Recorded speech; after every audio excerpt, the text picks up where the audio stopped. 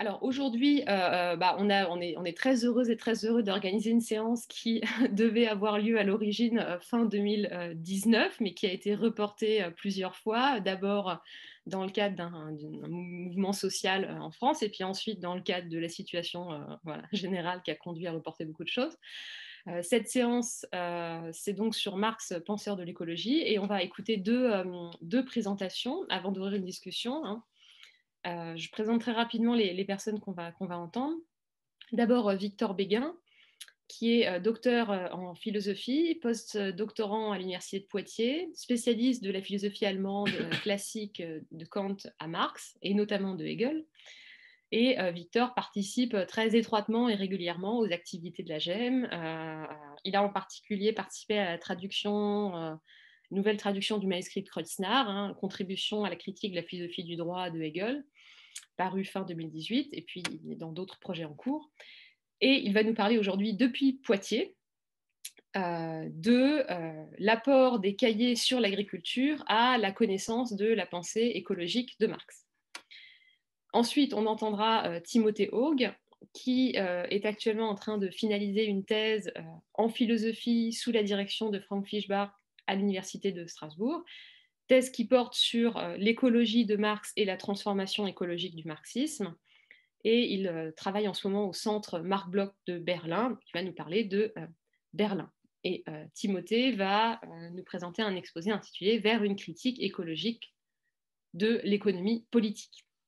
Et en ce qui me concerne, je vais simplement animer cette, cette séance euh, je suis Alix Bouffard, moi-même doctorante euh, à TER à l'Université de Strasbourg euh, et qui participe assez étroitement aux activités de la GEM et je vous parlerai depuis Strasbourg. voilà, donc chaque exposé fera à peu près 35 minutes et puis ensuite on pourra discuter jusqu'à midi. Et je reprécise pour les personnes arrivées entre-temps que la séance est enregistrée. voilà, et bien sur ce, je cède la parole à Victor.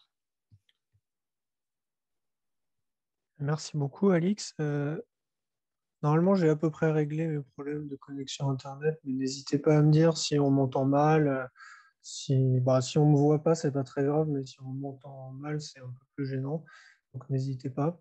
Alors, merci beaucoup pour la, présentation. Alors, moi aussi, je suis heureux que cette euh, séance puisse enfin se tenir un an et demi après avoir été initialement initialement prévu. Euh, alors, le, le but de mon exposé va être euh, de, comment dire, de décrire un peu les documents sur lesquels on s'appuie pour parler d'écologie de Marx ou d'écologie marxienne ou de Marx et de l'écologie. C'est-à-dire, en fait, je vais essentiellement euh, présenter les quelques résultats d'un travail d'épluchage d'un volume de la méga euh, auquel je me suis livré récemment. Euh, récemment, le volume 18 de la quatrième section de la méga, donc de l'édition allemande de référence de Marx et Engels, a été publié un volume qui comprend un certain nombre de documents euh, tout à fait euh, précieux pour nourrir la discussion et l'interprétation sur le rapport de Marx à l'écologie. Et donc, je vais essentiellement essayer de présenter cette base documentaire pour savoir un peu sur quel type de documents, sur quel type de sources on s'appuie quand on parle de Marx et de l'écologie. Alors, le, le, point est, est assez euh, important parce que pendant longtemps, on avait l'impression que les discussions autour de cette question se faisaient essentiellement, euh, j'ai envie de dire, un peu dans le dos de Marx lui-même, c'est-à-dire au mieux, on pouvait produire un certain nombre de citations un peu éparses tirées des textes de Marx pour dire, regardez, il est plutôt pour, il est plutôt contre, euh, il prend en compte les problèmes écologiques ou pas, etc par exemple, si on, si on prend euh, un livre qui a, qui a été qui continue d'être extrêmement important sur cette question, qui est un des grands, un des grands ouvrages dans lesquels euh, quelqu'un a essayé de montrer qu'il y avait vraiment une écologie de Marx, qui est le livre vous savez, de, John Bellamy Foster qui s'appelle Marxist Ecology. En fait, quand on lit ce livre, on voit un certain nombre de citations tirées de divers textes de Marx. On a l'impression qu'il y a quand même vraiment besoin d'un commentateur pour tracer un fil entre toutes ces citations pour montrer qu'il y a vraiment une écologie de Marx. Alors là, ce qui est intéressant avec les documents qui sont publiés dans le tome 18 de la section 4 de la Méga, c'est qu'on a des centaines de pages de Marx, enfin en tout cas qui sont de la main de Marx, je vais revenir là-dessus dans un instant, qui sont consacrées à des questions qu'on pourrait euh, a posteriori complètement intégrer au euh, champ de l'écologie. Et donc je vais essayer de présenter un peu ces documents euh, en procédant en trois temps déjà un peu les décrire et les situer dans l'itinéraire de Marx. Deuxièmement, proposer quelques réflexions un peu générales sur le type de documents dont il s'agit et le type d'informations qui peuvent apporter sur la connaissance qu'on a de la pensée de Marx, puisque vous allez voir que ce sont des documents euh, d'un statut un peu particulier. Et puis troisièmement, j'essaierai de dégager quelques grands thèmes euh, de ces documents-là pour montrer un peu quels sont les, de manière un peu plus précise quelles sont les préoccupations qu'on pourrait dire écologiques de, Marx. Alors, euh, donc, les textes dont il est question, ce sont des euh, cahiers que les, éditeurs ont baptisés euh, cahiers sur l'agriculture. Alors, cahiers, donc, ce sont littéralement des cahiers, c'est-à-dire des, feuilles manuscrites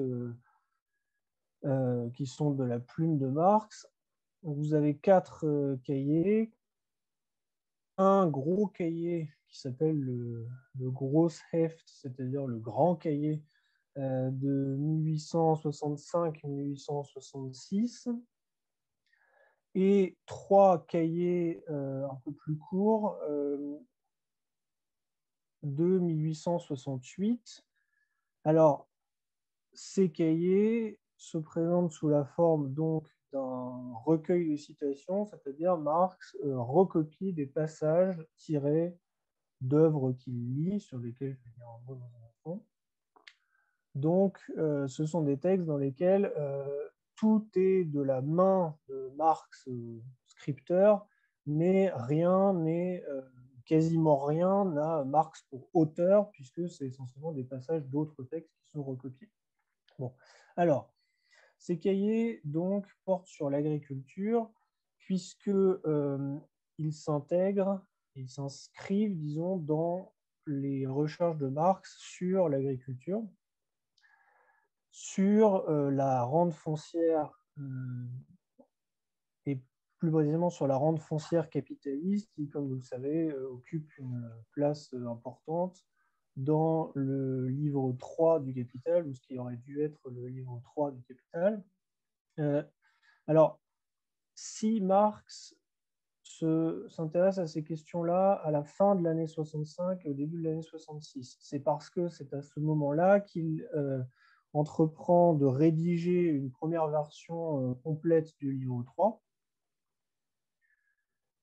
Et c'est à ce moment-là, du coup, qu'il se, s'oblige à mettre par écrit euh, sa euh, théorie de la rente foncière capitaliste. Et c'est dans ce contexte-là qu'il va euh, prendre toutes ses notes sur l'agriculture. Alors, ce qui est donc le premier point sur lequel je voudrais insister, c'est que les textes que l'on peut euh, associés, disons, à une investigation de Marx sur l'écologie, euh, s'inscrivent euh, en premier lieu dans ses travaux sur l'agriculture. Ce qui explique, disons, l'approche assez particulière qu'on trouve dans ces cahiers-là. Alors, je ne reviens pas sur les tribulations de la théorie marxienne de la rente foncière. Vous savez que c'est quelque chose qui l'a beaucoup occupé euh, dès, les années, euh, dès le milieu des années 1840. Euh, c'est quelque chose qui l'a occupé jusqu'à la fin de sa vie. C'est un, des sujets qui le préoccupe le plus dans, les 20 dernières années de sa vie. Vous savez, Marx passe son temps à écrire à Engels qu'il faut tout réécrire, mais il, le dit particulièrement concernant la rente foncière. C'est-à-dire, il est clair qu'il n'était pas satisfait de son manuscrit de 1865 sur la rente foncière et il a essayé de le, de le retravailler jusqu'à la fin de sa vie. et alors, donc, euh, ces documents s'inscrivent dans ce contexte-là. Alors du coup, ce que va faire Marx pour approfondir sa conception de la rente foncière, c'est qu'il va euh, à la fois euh, approfondir sa connaissance des théories économiques de la rente foncière, mais aussi accumuler toute une série de données empiriques sur l'histoire agraire, sur l'histoire agricole, notamment de la France, de l'Angleterre et des États-Unis, alors, pardon, de la France, du Royaume-Uni et des États-Unis.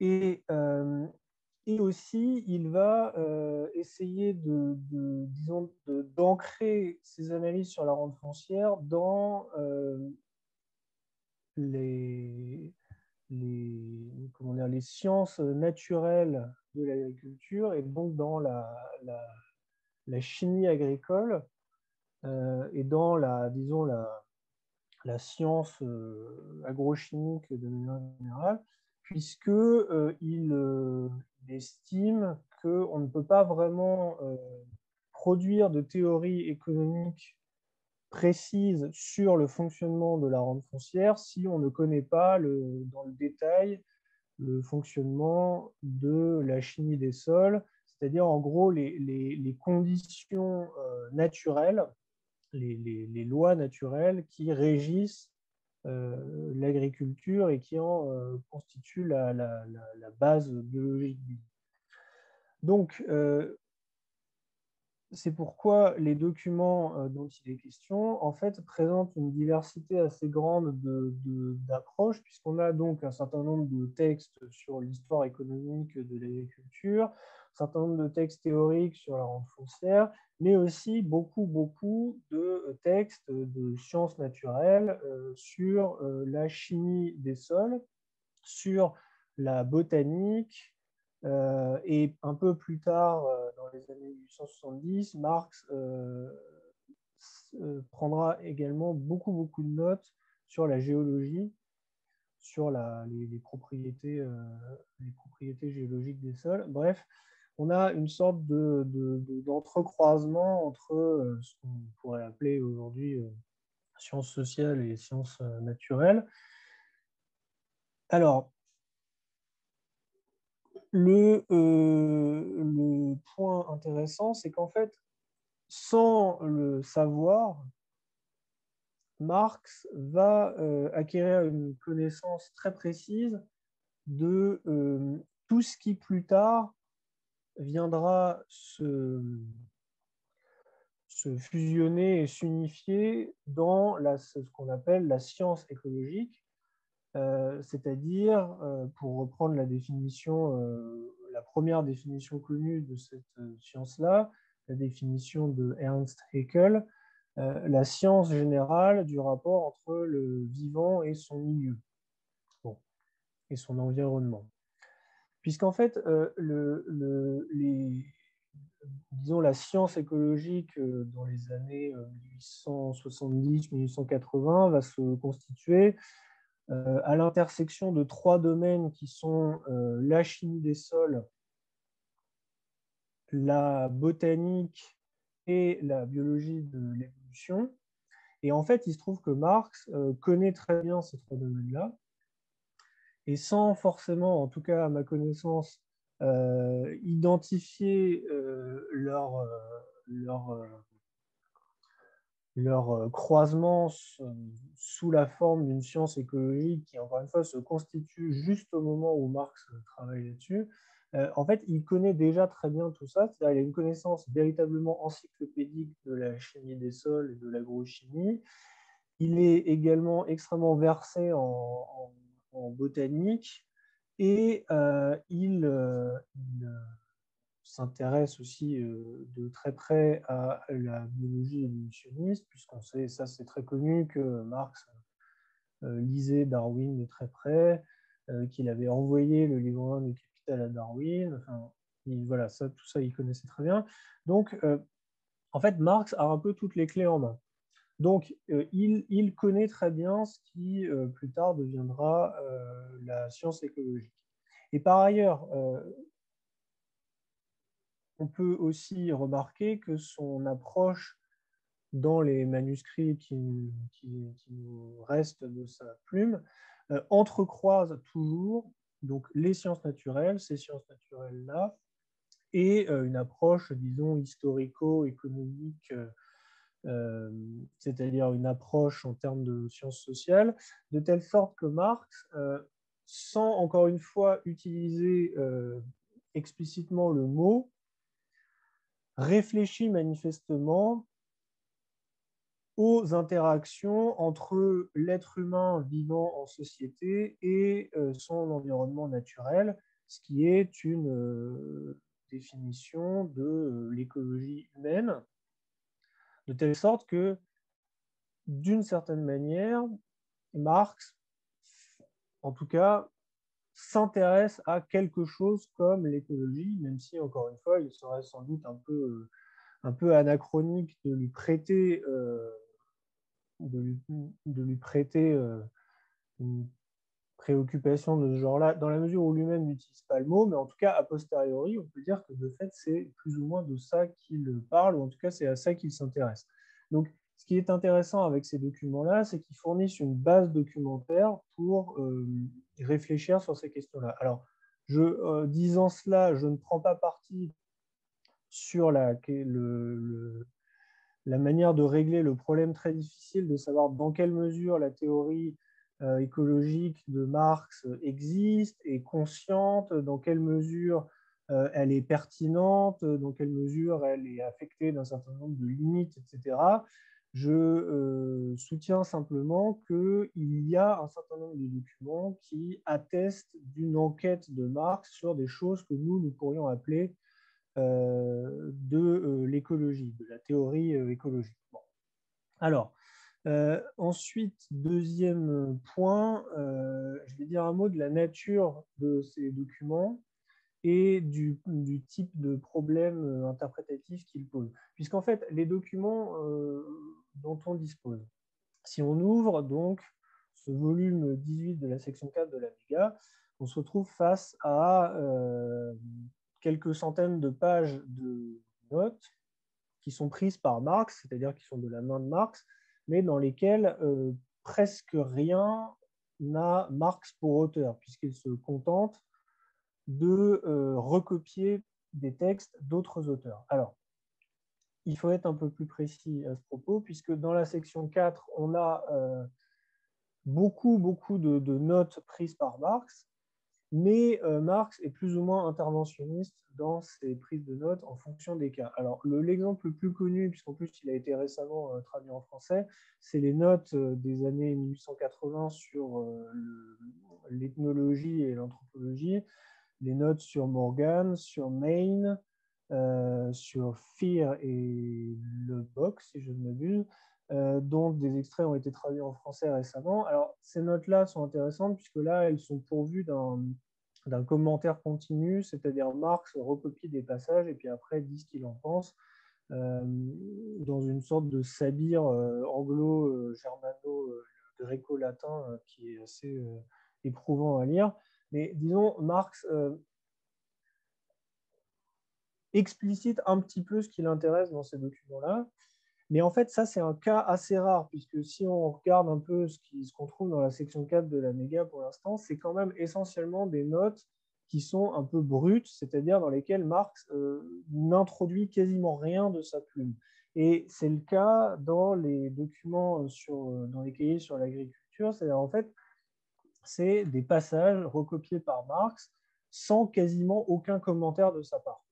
Alors, ce qui pose plusieurs problèmes. Ce qui pose déjà un problème, euh, euh, comment dire, un problème interprétatif qui est qu'il faut reconstituer derrière les prises de notes de Marx le cheminement intellectuel qui euh, leur est sous-jacent.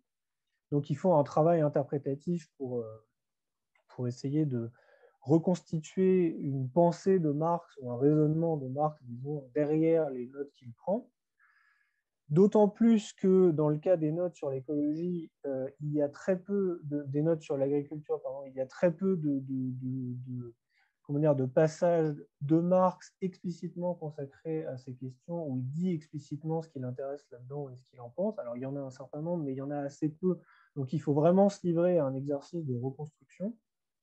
Et le deuxième problème qui se pose là spécifiquement pour la, la GEM, c'est de savoir ce qu'on fait de ces notes puisque c'est quand même une partie importante de, de, de, la méga, de l'édition complète des textes de Marx et d'Engels, mais c'est des textes dont on peut se demander s'il est utile de les traduire, puisque c'est essentiellement, encore une fois, des notes euh, de, prises par Marx sur d'autres auteurs. Alors, leur intérêt est immense puisqu'on voit ce que lit Marx, quelles sont ses sources, qu'est-ce qui l'intéresse, etc. Et en même temps, c'est toujours difficile puisque euh, comme ce ne sont pas des textes qui ont Marx pour auteur, on peut se demander s'il est utile de les traduire et sous quelle euh, modalité. Ça, c'est une question qui en fait est assez, euh, assez complexe et, et, que, voilà, que, je soumets aussi à la discussion, puisque c'est, comme on est dans le séminaire de la GEM, c'est aussi le genre de questions qu'on se, se, pose. Pour les notes sur l'agriculture, c'est vraiment compliqué puisque, encore une fois, presque rien n'est de la main enfin, presque rien n'a Marx pour auteur. Marx ne donne presque jamais son avis. Alors, cela dit, euh, on peut quand même se livrer à un exercice de, reconstruction interprétative à partir de ces documents-là, et je voudrais simplement dire un peu euh, selon quelle euh, méthode on peut procéder pour ce faire, c'est-à-dire quels sont les points qui nous permettent malgré tout de reconstituer un peu le, cheminement intellectuel de Marx euh, derrière ces documents bruts qui nous sont euh, livrés dans la méga? Alors, le premier point sur lequel on peut, on peut réfléchir, c'est le choix des textes euh, de Marx, c'est-à-dire le choix des, ouvrages des articles qu'il qui annote et le choix des passages qu'il recopie à l'intérieur de ces textes. Ça, c'est extrêmement éclairant. Alors, c'est un peu fastidieux puisqu'il faut comparer l'ouvrage de base et ce que Marx a recopié pour voir ce qui l'intéresse, ce qui l'intéresse moins. Mais euh, c'est un exercice qui produit des résultats assez intéressants puisqu'on comprend vraiment quelles sont les préoccupations de Marx et, euh, euh, et, et, on comprend, ne serait-ce qu'en regardant ce qu'il a recopié et ce qu'il n'a pas recopié, quels sont les points auxquels il est sensible dans les textes qu'il recopie. Deuxième point, ce que Marx fait beaucoup, c'est qu'il souligne énormément. Il souligne. Euh, alors, soit il souligne des passages, soit il met des espèces d'accolades dans les marges pour euh, dire attention, ça c'est important. Euh, du coup, ça, voilà, en, regardant ce qu'il a souligné, ce qui lui paraissait particulièrement important, on, peut on peut avoir une idée de ce qui l'intéresse, d'autant plus que dans les cahiers en question, euh, il y a deux couleurs de soulignement, enfin il y, a deux, couches de soulignement, et on peut supposer que la deuxième couche de soulignement correspond au moment où Marx relit ses cahiers pour euh, en intégrer un certain nombre d'éléments aux rédactions euh, du, du, livre, du, du premier manuscrit du livre 3 et de la version finale du livre 1 du Capital. Donc là, ça nous apprend aussi un certain nombre de choses. Euh, troisièmement, Marx fait quelques commentaires et quelques remarques au fil de sa prise de notes. Alors c'est très très très succinct, mais euh, des fois, euh, ça nous apprend un certain nombre de choses. Alors notamment, ce qu'on a beaucoup, enfin ce qu'on a un peu dans les, les cahiers en question, c'est que Marx, quand vraiment euh, il trouve euh, idiot ce qu'il est en train de lire, il le manifeste en mettant des insultes entre parenthèses. Par exemple, en lisant un économiste anglais qui s'appelle euh, Patrick Dove, vous avez des passages entre parenthèses, donc Marx est en train de recopier un texte, et entre parenthèses, il rajoute des insultes du genre abruti ou âne, enfin, histoire de montrer que là, vraiment, il n'est pas du tout d'accord. Et donc là, c'est aussi intéressant de voir quels sont les points sur lesquels Marx est particulièrement exaspéré. Euh, alors, et notamment, là, on voit ce qui est assez intéressant dans ces, dans ces documents-là, un certain nombre de passages où Marx, lisant des économistes, met entre parenthèses des commentaires qui laissent penser qu'il les accuse de ne pas connaître assez bien les bases agrochimiques de ce dont il parle. En gros, il les accuse d'incompétence en matière de sciences naturelles, ce qui est, ce qui est assez révélateur de, son, de son processus de, pensée. un autre point qui est intéressant, qui, est, qui, donne lieu à des, qui peut donner lieu à des reconstructions un peu spéculatives, mais qui est intéressant, c'est l'ordre des ouvrages et l'ordre des extraits, puisqu'en fait, comment dire, Marx n'a pas un plan, euh, n'a pas toujours un plan arrêté de euh, ce qu'il cherche. Des fois, il se laisse un peu euh, guider par le fil de ses lectures. Et du coup, des fois, on peut reconstituer la, logique de ses intérêts en regardant ce qu'il lit et dans quel ordre il le lit. Puisque, par exemple, on peut considérer que s'il se met à lire des choses sur un, s'il se met d'un coup à lire des choses sur un certain thème, ça euh, peut éclairer rétrospectivement euh, la présence de ce thème et son intérêt pour ce thème dans les textes qu'il avait lus avant. Alors là, je prends, un exemple précis. Euh, on constate que Marx lit un certain nombre de, de textes d'agrochimie et ensuite se met à lire des textes consacrés à Malthus et à la critique de Malthus.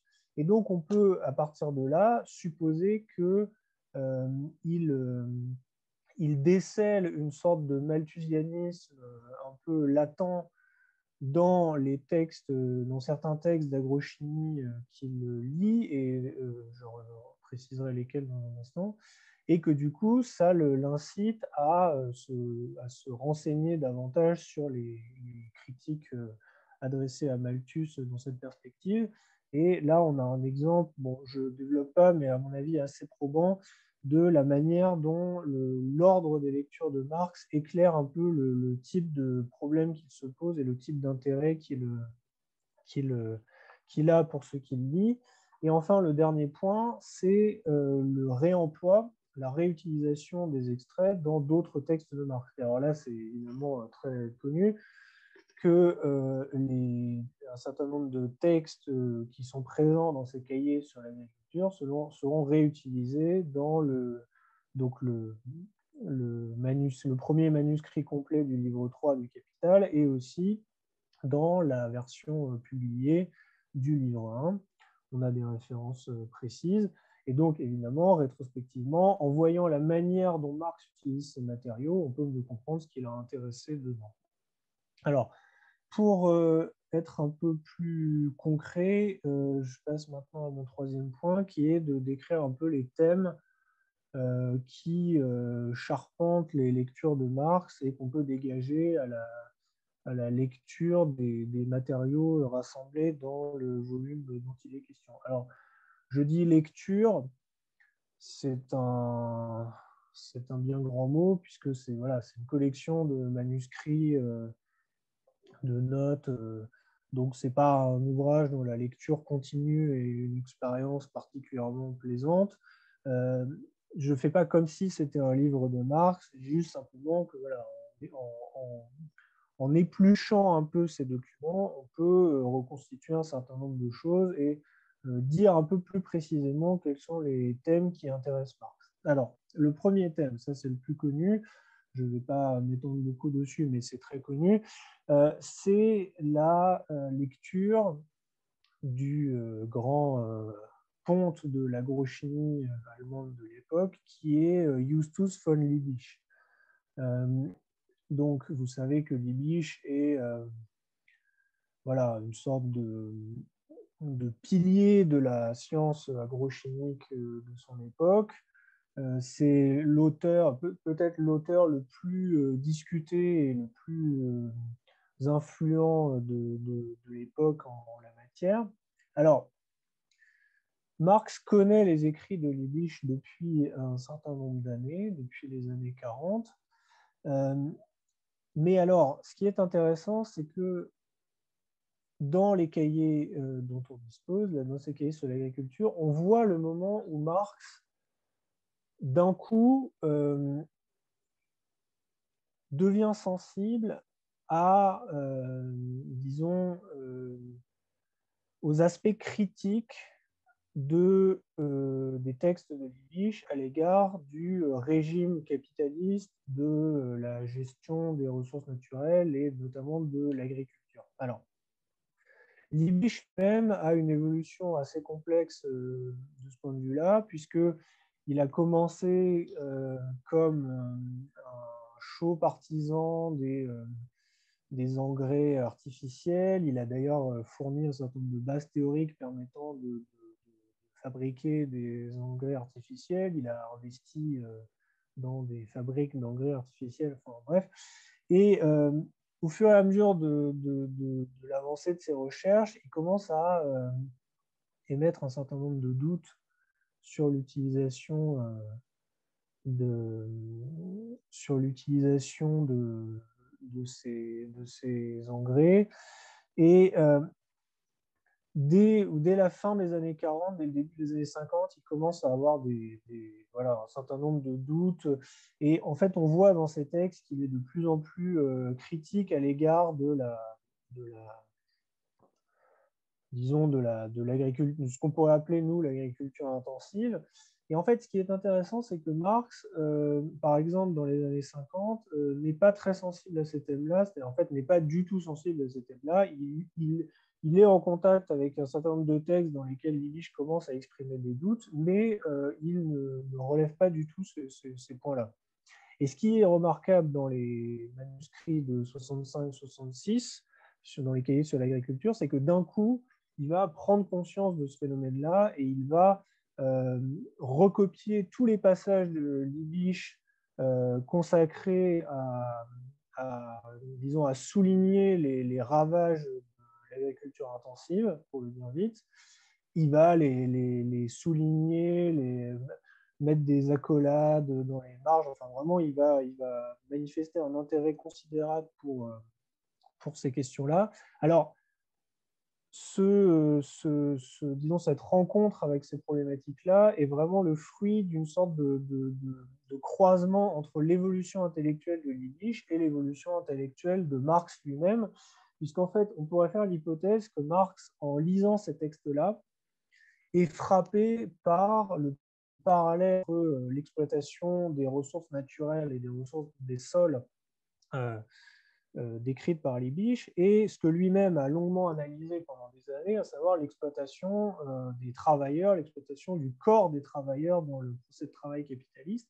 Alors là, ce qui est intéressant, c'est qu'en fait, Marx trouve chez Liebig des formules des métaphores, un vocabulaire qui en fait sont très proches de ce que lui-même utilise pour penser l'exploitation de la force vitale des travailleurs.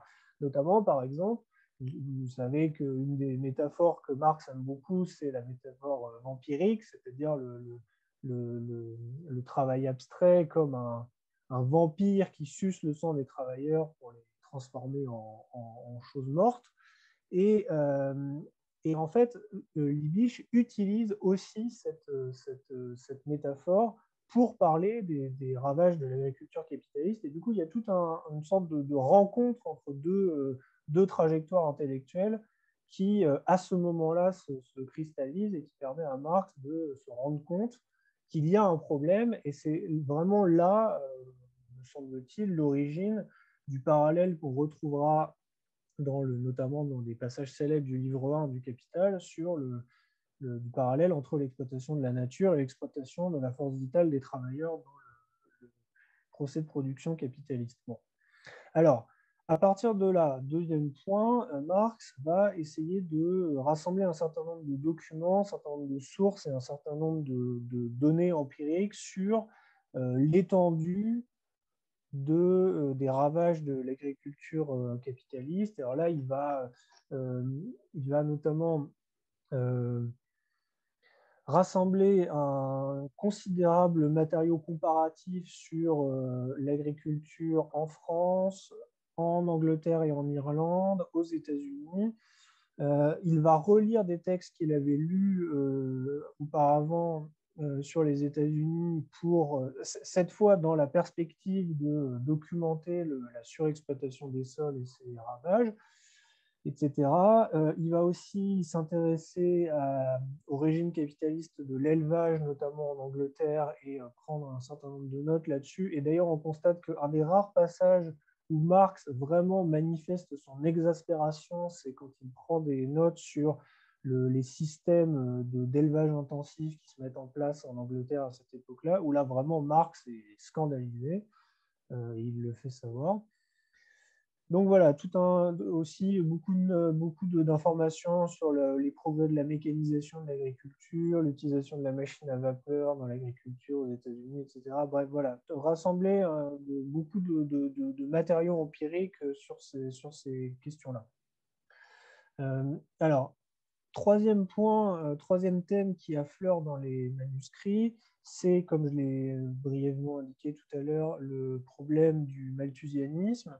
Alors, euh, Marx, euh, manifestement, comprend qu'il y a dans les textes de Liebig une forme de malthusianisme plus ou moins explicite et plus ou moins latent, c'est-à-dire, en gros, l'idée selon laquelle l'augmentation incontrôlée de la population serait la cause de euh, l'augmentation incontrôlée de l'exploitation des ressources naturelles et donc de la, de la, de la, de la, voilà, des ravages, euh, des dommages causés à l'environnement par euh, l'agriculture. Alors, évidemment, Marx, euh, de longue date, a produit une critique détaillée de Malthus et des explications causales à son avis fallacieuse de Malthus. Et du coup, là, on constate qu'il se remet à lire un certain nombre de textes contre Malthus, notamment un ouvrage d'un économiste anglais qui s'appelle Ross, euh, qui est euh, entièrement consacré à la critique de la théorie euh, agraire de Malthus. Voilà, on, voit que il, il, reconsidère sous un autre angle et il complète sa critique de Malthus, qui encore une fois est déjà ancienne, dans cette perspective-là. Et enfin, le dernier point qui apparaît de manière remarquable, notamment cette fois dans les cahiers de 1868, c'est l'intérêt de Marx pour euh, ce qu'on pourrait appeler l'histoire euh, de l'écologie humaine, c'est-à-dire euh, la manière dont différentes formations sociales entretiennent des rapports différents à leur environnement. Et alors là, c'est notamment dans les travaux d'un scientifique, d'un botaniste assez original qui s'appelle Frass, que Marx va puiser des informations sur cette question-là. Euh, puisque Frass est notamment quelqu'un qui a étudié euh, l'histoire des plantes et l'histoire de la domestication des plantes et des effets que la domestication des plantes euh, produit sur l'environnement, donc dans la Mésopotamie ancienne, dans l'Égypte ancienne, etc. Et Marx est très sensible à ça. Et alors, ce qui est intéressant, et je terminerai là-dessus, c'est que c'est exactement à ce moment-là que Marx se met à enquêter sur les euh, formations sociales qu'on appelle euh, pré-capitalistes, c'est-à-dire notamment sur euh, les systèmes sociaux antiques. Et c'est à ce moment-là qu'il va lire des auteurs, et notamment un historien du droit qui s'appelle Maurer, euh, qui euh, étudie euh, les, formes sociales de propriété qui ont précédé l'avènement de la propriété privée capitaliste. Et on voit que là se, noue quelque chose d'intéressant entre, disons, l'intérêt pour l'histoire des rapports entre l'être humain en société et son environnement, et puis l'histoire des formations sociales euh, antérieure euh, au, capitalisme et différente du capitalisme. À mon avis, voilà, c'est un peu les, principaux thèmes qui se, qui, se dégagent de cette masse de manuscrits. Et euh, il me semble qu'à partir de là, ça fournit une base partiellement nouvelle ou en tout cas intéressante en soi pour traiter de manière plus précise et plus euh, sourcé, disons, du rapport entre Marx et l'écologie. Voilà, je m'arrête là et désolé pour les deux minutes de déplacement. Merci Victor, je pense qu'on ne t'en voudra pas pour les deux minutes de déplacement. Euh, bah, du coup, je, euh, propose qu'on passe d'emblée euh, à l'intervention de Timothée et comme ça, on pourra ouvrir une discussion commune ensuite. donc, bah, Timothée, je te, laisse la parole. Merci beaucoup. je suis très heureux de pouvoir discuter aujourd'hui aussi avec Victor parce qu'on a pas mal échangé dans la période qui qui a depuis euh, la première, euh, euh, tentative d'organiser cette discussion. Et alors, j'espère que ma connexion Internet va fonctionner. Il se peut que ça, frise un peu. En quel cas, vous me le dites et je passe sur un, autre support. ça devrait durer deux minutes. Voilà, ça peut faire une petite introduction. J'essaie de me tenir autant imparti. J'ai beaucoup de choses à raconter. Je vais mettre un, un minuteur. Donc, euh, voilà, vers une critique écologique de l'économie politique. il y, a un paradoxe, euh, déjà, avec lequel j'aimerais commencer. Si Marx s'est intéressé euh, de si près à la question de la crise entre le capital et la nature, au problème des limites naturelles de la production, à l'interaction entre êtres vivants dans des systèmes complexes et par rapport au système social, comment expliquer le retard du marxisme par rapport à l'écologie? En dehors des quelques auteurs comme les Bordiga, les, les et quelques groupes Mao des années 70 qui, euh, qui ont mis cette question en avant. Comment expliquer la mauvaise réputation de Marx dans les cercles de l'écologie politique officielle dominante Ne serait-ce au fond qu'une grande opération de mise au banc idéologique? Alors vous savez, il y a un, grand reproche qui a été fait à Marx par l'écologie politique euh, officielle, euh, qui est celui de productivisme, qui se serait traduit à la fois dans des manques de la critique du capitalisme, à la fois dans des pratiques destructrices, du socialisme réel. Et contre ce reproche, en fait, euh, des, lectures plus récentes, notamment celle qu'a mentionné Victor de, John Bellamy Foster, euh, ont consisté à remettre au devant de la scène euh, en fait, les, réflexions immanentes de Marx, les réflexions internes de Marx pour cette dimension écologique, notamment à travers la formulation d'une théorie de la rupture métabolique,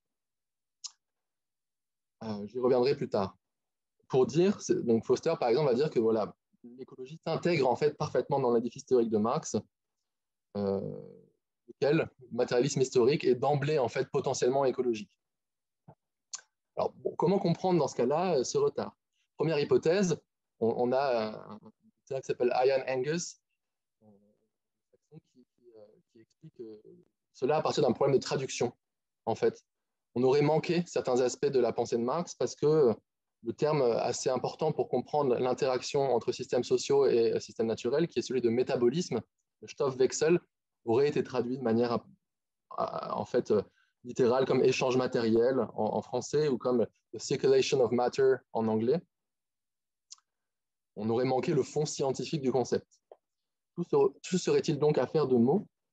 À mon sens, c'est là donner beaucoup trop de poids à la langue et euh, on n'arrive pas à expliquer pourquoi le marxisme allemand aurait manqué aussi cette question-là. Alors, ma seconde hypothèse, euh, c'est que on a un problème dans l'œuvre de Marx, en fait.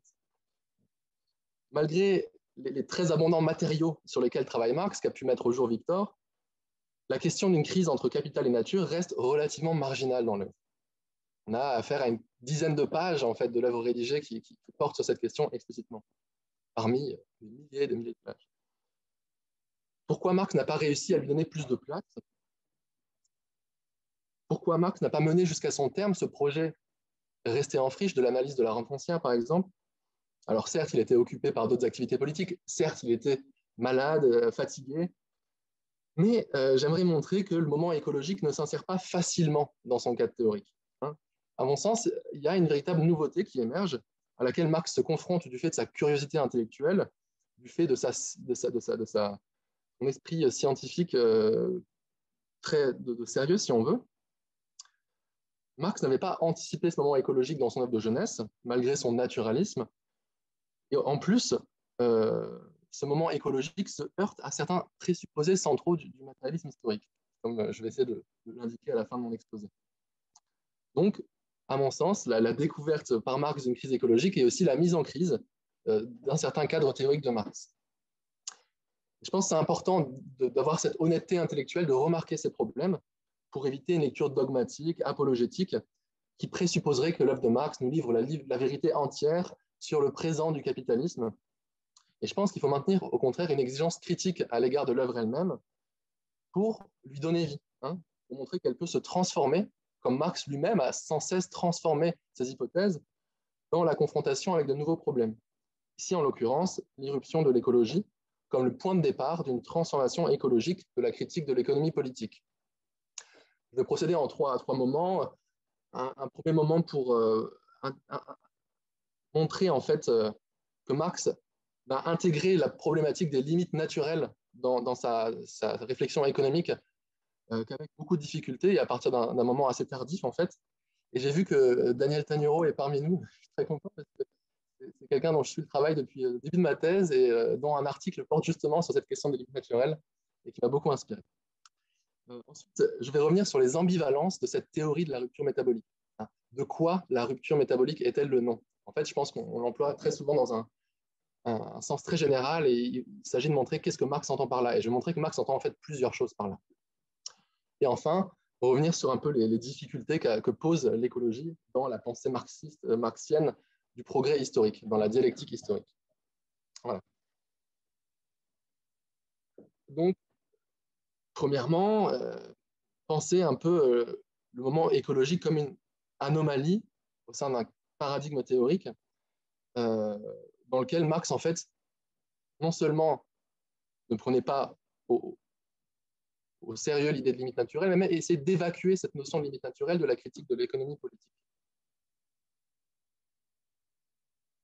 J'ai envie de dire, l'écologie survient dans, le parcours de Marx comme un paradoxe. Quelque chose qui vient mettre en crise une opinion, une doxa préconçue que Marx partage avec les mouvements socialistes de son époque. Pour le dire en, termes un peu simples, le fait que la nature n'impose aucune limite au progrès matériel de l'humanité, progrès que le capitalisme parvient à maximiser aux dépens de la classe euh, ouvrière, aux dépens en fait des vies humaines. C'est là, si l'on veut, que se situe un certain productivisme du jeune Marx, en tout cas du premier Marx, dans cette valorisation d'une maximisation productive par le capitalisme, qui serait une domination presque accomplie de la nature. Mais ce, productivisme, si on veut, n'est pas euh, simplement un présupposé irréfléchi que Marx aurait hérité de son époque.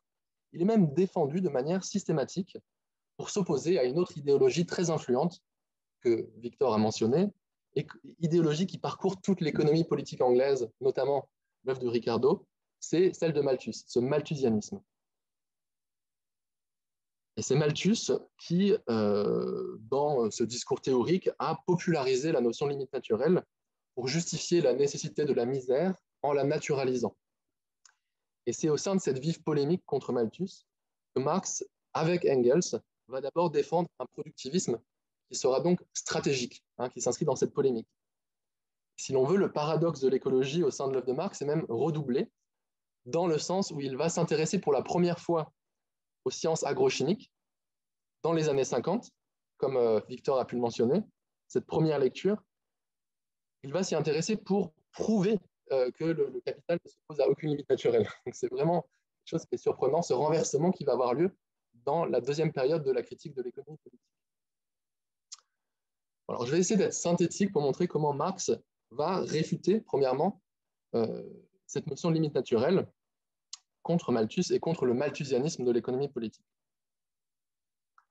C'est une stratégie argumentative qui est mise en place dans ce qu'on pourrait appeler la première critique de l'économie politique, qui va de la misère de la philosophie, 47, jusqu'au, disons, la première partie des théories sur la plus-value, en 63, en passant par les Grundrisse. Les Grundrisse formeraient un peu le, voilà, la première euh, grosse esquisse de la critique de l'économie politique. Et dans celle-ci, euh, il va poursuivre et systématiser les arguments développés d'abord par Engels pour contrecarrer la théorie malthusienne de la population.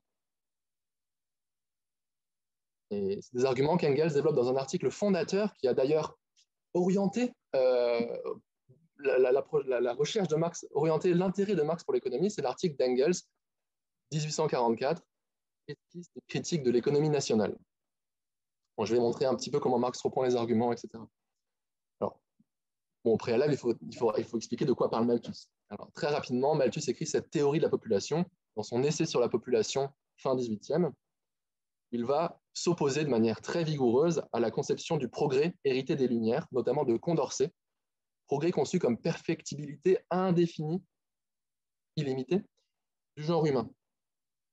Et il va s'y opposer en justifiant la nécessité de la misère sociale, du phénomène du paupérisme, par l'idée que euh, la croissance de la productivité des biens alimentaires, la croissance de la productivité agricole est limitée par rapport à la croissance toujours supérieure de la démographie, de la population.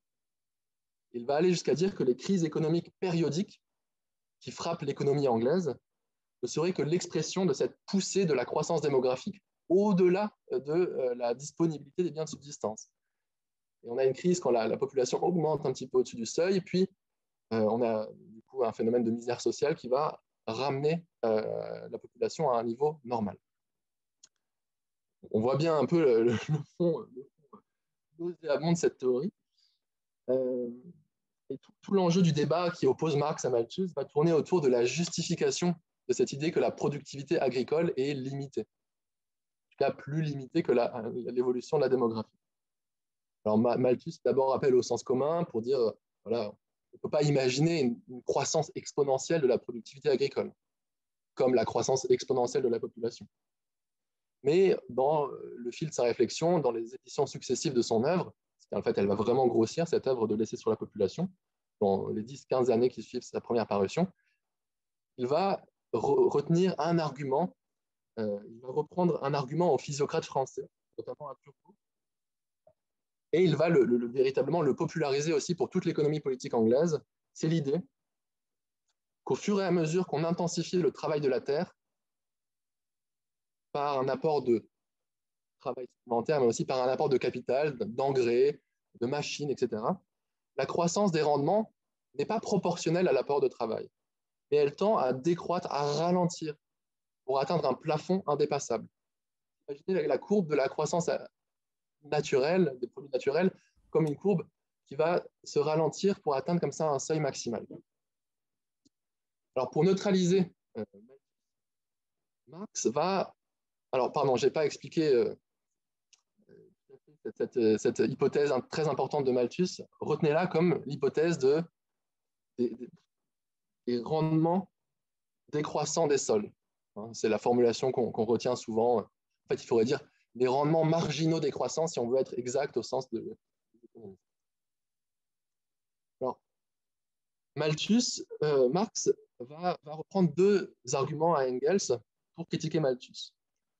Premier argument, le phénomène de la misère, de la pauvreté ne doit pas s'expliquer à partir d'une limite extérieure à la société, à partir d'une euh, contradiction entre la société et la nature, mais par une contradiction interne de l'économie.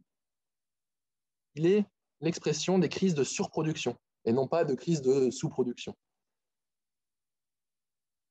Loin d'être euh, l'expression d'un déficit de biens de subsistance, la pauvreté est l'expression d'une privation d'une certaine partie de la population des moyens de se les procurer, de salaire notamment. En effet, on a une crise de surproduction, l'économie s'effondre, une grande partie de la population est jetée sur le carreau et ils n'ont plus rien à se mettre sous la dent, non pas parce qu'ils manquent de nourriture, mais parce qu'ils n'ont plus de salaire. Deuxième argument, et c'est là que vous intéressera un peu plus, la limitation de la production agraire, si elle a pu avoir lieu dans une certaine phase de l'économie anglaise au tournant des 18e et 19e siècles, n'était pas l'effet d'une limite naturelle, mais l'expression d'un sous-développement scientifique et technique dans la connaissance et la maîtrise de la nature, notamment dans l'agronomie et l'agrochimie. Et ce qui est très intéressant, c'est que Engels, dans ce texte de 44, va faire référence à la naissance d'une nouvelle science qui permet de bouleverser les rapports à la nature pour faire sauter cette limitation. cette nouvelle science, c'est la chimie, dans son application à l'agronomie.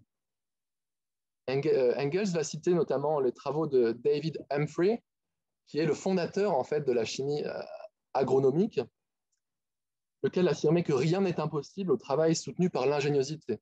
Et Engels va conclure son argument, mais qu'est-il impossible à la science?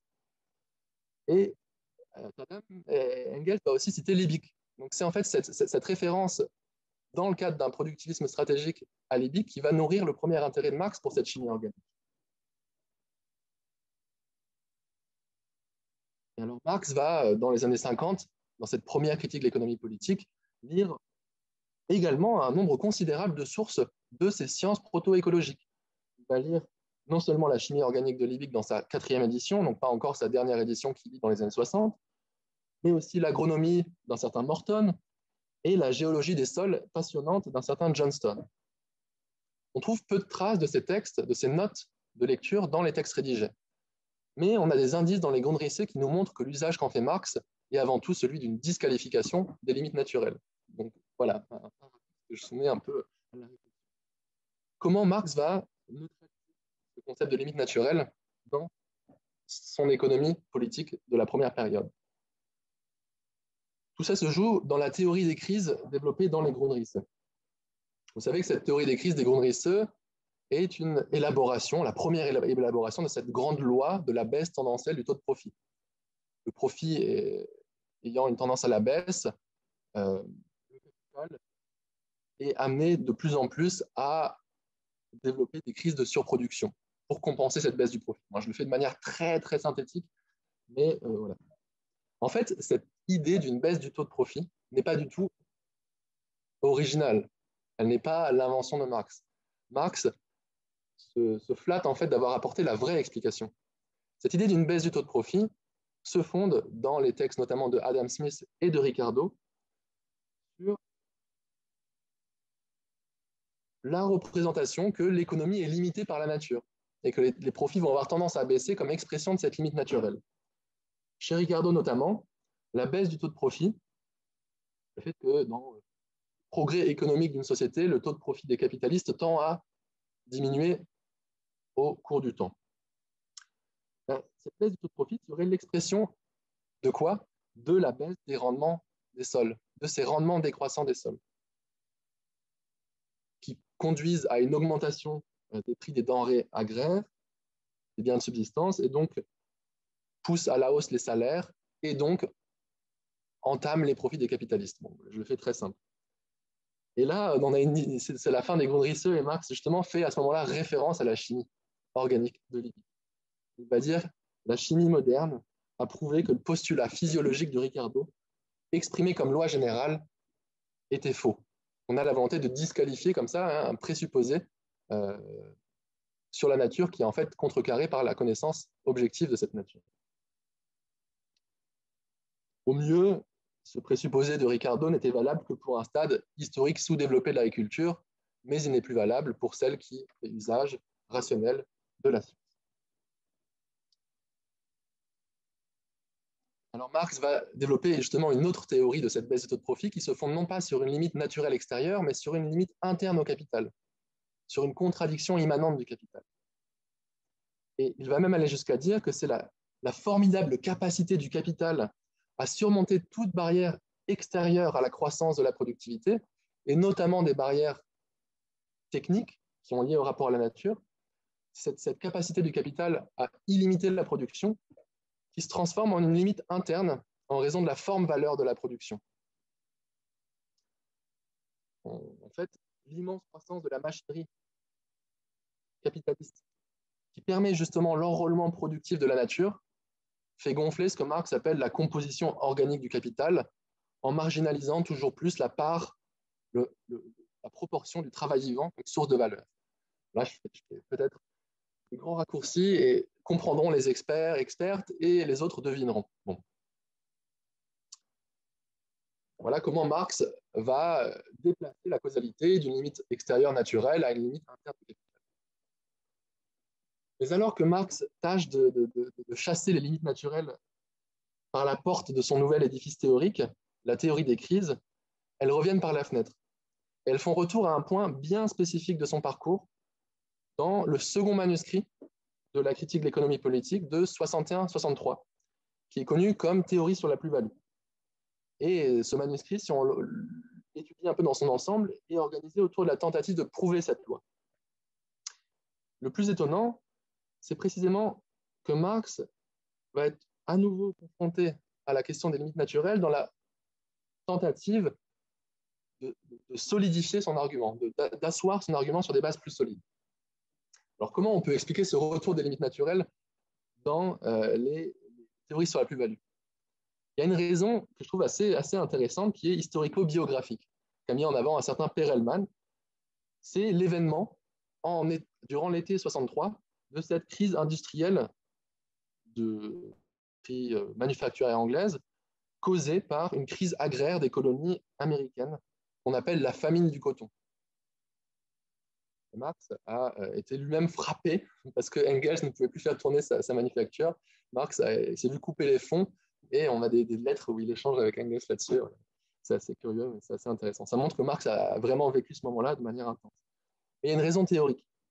La raison théorique, c'est que la relativité, euh, pardon, la rareté des matières premières, la rareté relative des matières premières va jouer un rôle décisif dans la preuve de cette baisse tendancielle taux de profit, notamment dans la preuve d'une croissance de la composition organique du capital. Je vais essayer de l'expliquer de manière assez simple, mais en fait, l'idée que la part du capital constant ne cesse de croître n'est pas si évidente que ça. On peut dire oui, regardez, la machinerie ne cesse de croître, mais ce qui se développe aussi, c'est la productivité du travail. Donc la valeur de la machinerie peut rester constante. Marx va montrer qu'il y a un autre élément euh, du capital constant qui est, lui, en augmentation exponentielle. C'est l'ensemble des matières premières et des énergies qu'il va être nécessaire de mobiliser pour faire tourner cette machinerie. Et justement, l'exemple qu'il va donner, c'est le coton, une matière première d'origine agricole qui est essentielle au progrès de la manufacture euh, de filage et de tissage anglaise. Il va interpréter la crise du coton comme le résultat d'un décalage entre la demande croissante de matières premières par l'industrie textile et la difficulté à accroître d'autant la productivité du travail agricole. Marx demande, mais pourquoi ne peut-on pas augmenter la productivité agraire d'autant que la productivité industrielle? Là, je vous, cite, euh, je vous mets dans le, chat euh, un, passage que je trouve assez formidable, justement Daniel Taniro cite dans son article. C'est un passage de ses manuscrits où Marx va dire à quoi il est très aisé de répondre que la part des matières, de matières premières, comprenant la laine, la soie, le cuir, est produite à travers des processus organiques animaux, celles comprenant le coton, le lin, etc., à travers des processus organiques végétaux. Jusqu'à présent, la production capitaliste n'est pas parvenue et elle ne parviendra jamais à disposer de ces processus comme elle dispose de processus purement mécaniques ou de processus chimiques inorganiques. Donc il y a une spécificité de la matière vivante qui ne se laisse pas maîtriser, dominer de la même manière que les processus mécaniques de l'industrie. S'il y a une limite qui est imposée par la matière vivante à la production du capital, Marx ne retombe-t-il pas sur l'hypothèse malthusienne au départ? L'idée d'une limite naturelle à la croissance de la productivité. En fait, ce qui va changer, c'est l'explication implicite de, Marx, que Marx donne euh, de cette limite. Alors, il n'élabore pas ça tout à fait, c'est des choses qui sont très implicites, mais il montre entre les lignes que la limitation résulte de la rencontre entre deux facteurs. D'une part, des conditions naturelles qui sont dotées d'une certaine autonomie, de certaines lois propres de développement, et ça, ce sont les lois du vivant, euh, les lois de la, croissance des plantes dans leur contexte organique et euh, écologique, qui rentrent en contradiction avec une forme sociale historiquement spécifique de la production, en l'occurrence la production capitaliste. Et on a, je trouve, un, concept très intéressant qui est développé par un certain Lebowitz. Euh, il, a, travaillé sur la théorie des crises de Marx, euh, Michael Lebowitz, qui dit que Marx en vient à reconnaître certaines limites générales de la production, qui sont fondées sur cette, ce conditionnement naturel de la production, mais qui ne fonctionnent comme une effectivité pratique comme limite qu'en étant activées à travers des formes sociales spécifiques. Et en l'occurrence, c'est la contradiction interne du capitalisme, celle qui est caractérisée par la baisse tendancielle taux de profit, qui active cette limite naturelle comme un facteur aggravant. Donc, quand on parle de limite, ici, on parle d'une interface, on ne parle pas d'un limite de la nature essentiellement présente dans la nature. Parle d'une certaine interface socio-physique entre des processus organiques d'une part et des processus sociaux historiquement déterminés d'autre part. Et pour d'autres sociétés organisées différemment, cette condition naturelle ne jouerait peut-être pas le rôle de limite. Voilà la, la reformulation implicite qu'on doit faire pour rendre raison du processus de pensée de Marx dans ses manuscrits. Mais deuxièmement, deuxième nouveauté qui se joue dans ces manuscrits, c'est un changement de sens du concept même de limite. Dans la théorie classique des, économistes anglais, dans l'idée d'une baisse des rendements des sols, la limite était pensée comme plafond indépassable de la productivité. Avec Liebig, Marx va penser la limite comme un seuil dont le dépassement est possible dans le court terme au prix de conséquences destructrices sur le long terme. Et ça, c'est un concept de limite qui est essentiel dans l'écologie euh, scientifique contemporaine, l'idée d'un seuil euh, qui est doté d'une certaine élasticité. Et je vous cite un passage formidable de ces manuscrits où Marx, pour moi, ce passage, c'est vraiment la saillie de l'écologie, l'émergence, comme ça, l'éruption de l'écologie euh, dans l'œuvre de Marx. C'est l'été 63, Marx écrit ça. Marx écrit ça, c'est-à-dire qu'il déjà en 63, il a cette première théorie de la double exploitation de la force euh, humaine de travail et de la nature, et exploitation destructrice. Il a un vocabulaire très particulier. L'anticipation de l'avenir, son anticipation effective, n'a véritablement lieu dans la production de richesse qu'en rapport avec le travailleur et la terre. Par le surmenage prématuré et l'épuisement, par la perturbation de l'équilibre entre le prélèvement et la restitution, l'avenir peut être dans les deux cas anticipé et dévasté réalitaire, dévasté en réalité. Cela a lieu dans les deux cas par la production capitaliste. On a l'idée d'un dépassement surproductif d'une limite naturelle du vivant, à la fois le vivant humain, la force de travail humaine, et du vivant non humain, qui conduit à une destruction sur le long terme de ce potentiel vital la dévastation, ici c'est la Verwüstung, en fait, la désertification, si on veut être littéralement dans la traduction, le fait de, rendre quelque chose euh, dévitalisé, impropre à la vie. Alors, je, vais juste apporter une nuance par rapport à la chronologie qu'a annoncé Victor dans son premier exposé, sur le fait que voilà, ce serait dans la lecture de Libic en 65-66 qu'apparaîtrait la sensibilité de Marx à la question de l'épuisement des sols par l'agriculture moderne. En fait, Marx lit un, texte de Liebig en, en 60, entre 61 et 63, qui n'est pas publié, c'est un, manuscrit euh, la théorie et la pratique de l'agriculture, dans lequel Liebig développe déjà une critique en fait euh, d'une exploitation intensive des sols par un usage irrationnel des engrais qui va les épuiser. J'y reviens euh, dans cette seconde partie. Alors j'étais assez long, mais parce que c'est assez, assez, complexe cette histoire de limite naturelle, mais je vais revenir maintenant sur l'ambivalence de la théorie de la rupture métabolique dans le capital. Alors, on appelle théorie de la rupture métabolique la compréhension par Marx de la contradiction entre euh, la production capitaliste et les conditions naturelles de cette production. Théorie qui est développée euh, de manière très, très, lapidaire dans les manuscrits troisième tome le premier manuscrit qu'a mentionné Victor, de 65, et dans le passage du premier tome publié de 67 qui s'appelle Grande industrie et agriculture. Et je vais montrer ici qu'en fait, Marx a au moins deux, voire trois euh, explications de, cette rupture métabolique. L'une qui peut être compatible avec l'ancien productivisme et l'autre qui est en rupture. Marx hésite encore. Et il hésite encore parce qu'il rencontre un problème. Et il ne tranche pas ou du moins, on va quand même le voir, avancer d'une interprétation à l'autre et sortir d'une certaine manière de ce, productivisme initial. Prendre au sérieux euh, la question. Bon, alors, la première explication, c'est une explication spatiale. Marx a montré que la, la condition de la rupture métabolique, c'est une séparation spatiale entre la ville et la campagne, comprise comme le lieu de consommation, la ville, et la campagne comme lieu de production des matières alimentaires. Dans les deux cas, lorsque Marx emploie le, terme de métabolisme l'idée d'une rupture dans le métabolisme, livre 3, d'une perturbation du métabolisme, livre 1, c'est à chaque fois en faisant immédiatement référence au contexte géographique qui conditionne cette rupture du cycle des nutriments.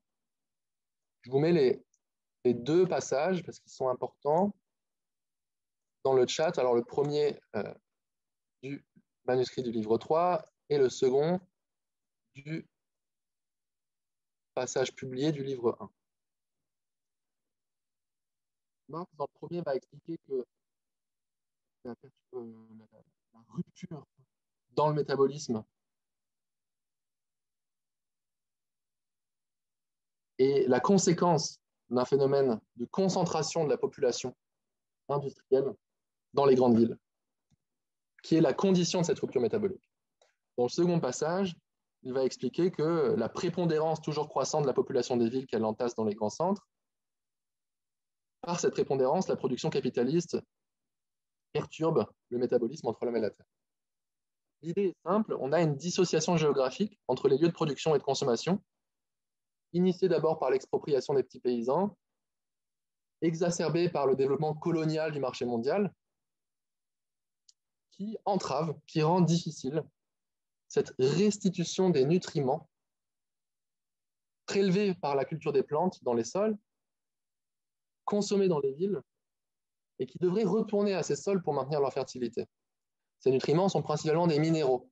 Ils sont principalement le phosphore, le potassium et l'azote.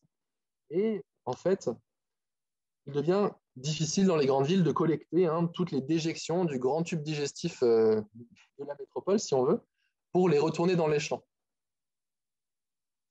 les citations ne s'affichent pas dans le chat. Ah, mais en fait, c'est parce que je suis rentré en discussion perso avec Daniel Tanuro qui m'avait écrit avant. Mince. Ok. Euh, alors, je vais... Vous avez vu aucune citation? C'est quand même dommage. Oui, on n'a pas de citation qui s'affiche et euh, j'en profite pour euh, te dire, Timothée, si c'est possible peut-être de finir vers moins 25 pour qu'on ait encore 25 minutes de discussion. Moi, j'ai 5 minutes sur ma, mon chrono. Du coup, oui, bah, j'aurais largement, ouais, j'aurais fini à moins 25.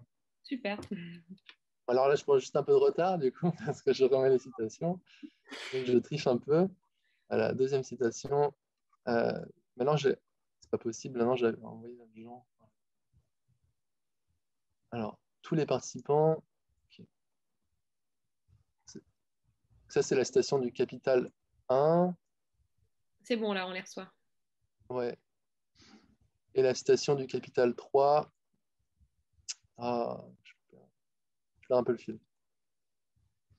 Ou alors, ce que je peux faire, c'est vous envoyer un petit document avec toutes les citations que j'ai mentionnées. Vous pourrez mettre à disposition des, participants, je ne sais pas. C'est plus simple, sinon je vais perdre du temps à refaire remonter le fil. Oui, on pourra faire ça.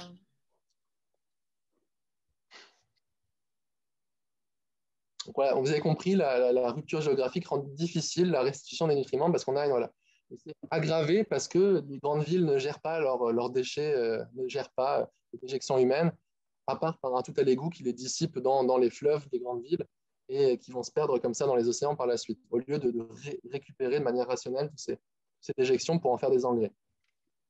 Cette conception à l'époque qui, vient vraiment de Libic. Hein. Avait cette idée-là qu'il fallait euh, du coup avoir un traitement rationnel des déchets de la consommation humaine pour les restituer à leur origine naturelle, les champs.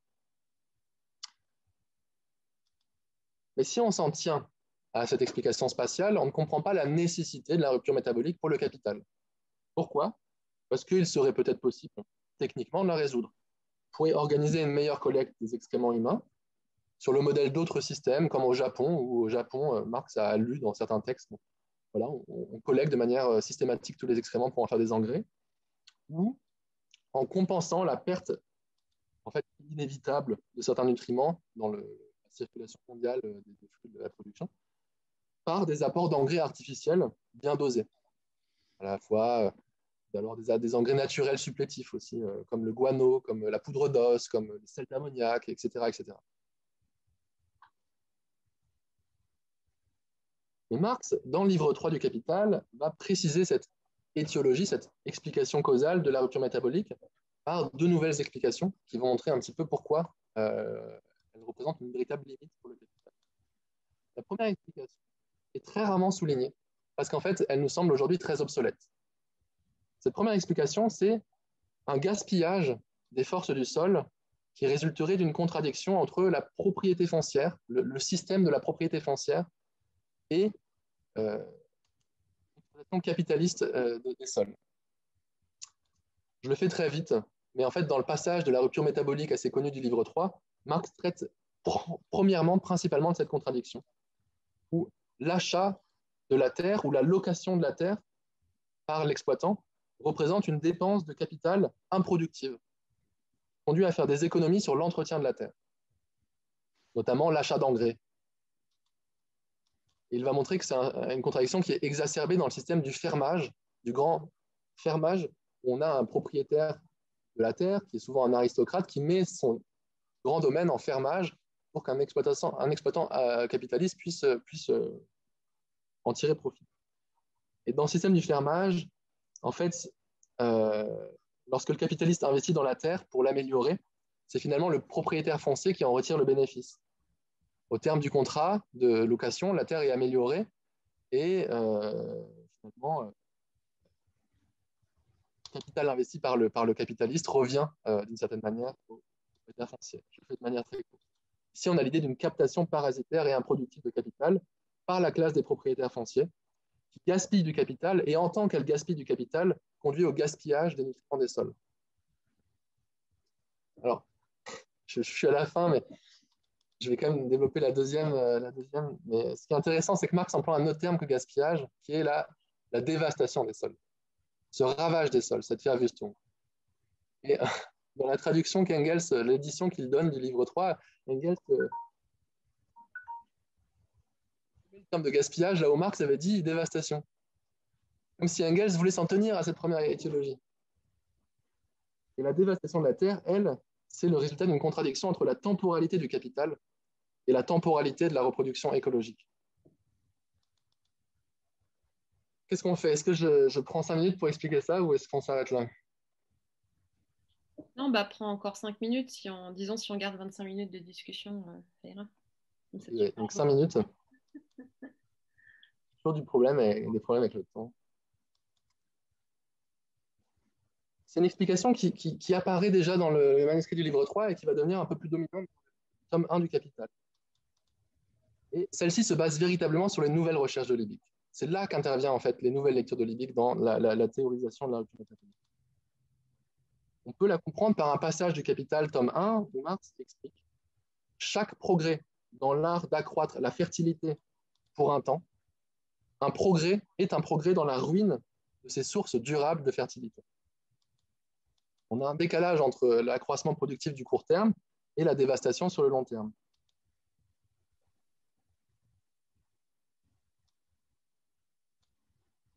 Liebig expliquait en fait ce décalage-là par le fait qu'on apporte au sol certains engrais ou certains, fumiers qui contiennent des, éléments comme l'azote permettant d'augmenter un petit peu la, fertilité des sols et qui ne sont pas assez complets, ne restituent pas tous les minéraux et qui du coup épuisent euh, sur le long terme la fertilité de ces sols. On a ici une sorte d'usage irrationnel des moyens du capital du fait de la volonté du capitaliste d'accroître son profit sur le court terme, sans intérêt pour les conditions de durabilité sur le long terme on a une contradiction entre la temporalité à court terme de la reproduction du capital et la temporalité à long terme de la reproduction de la vie humaine et de ses conditions non humaines. Et on a un passage euh, du tome 3 du Capital où Marx est très clair sur la, dimension totale de cette contradiction et pas juste restreinte à un certain type de propriété privée. C'est une note de bas de page où Marx explique que tout l'esprit, tout l'esprit du mode de production capitaliste axé sur le prochain gain monétaire immédiat est en contradiction avec l'agriculture, qui, elle, doit composer avec l'ensemble des conditions d'existence permanentes des générations humaines qui se succèdent. là, j'aimerais bien euh, développer pour dire qu'il y a un paradoxe écologique tout à fait fascinant que l'explication euh, que Liebig donne en fait de cette épuisement du sol est, relativement fausse et que Marx se base sur une fausse théorie pour euh, développer un, un, qui a une pertinence profonde pour euh, la compréhension de la crise écologique contemporaine. Mais ça, on pourra peut-être y revenir dans la discussion.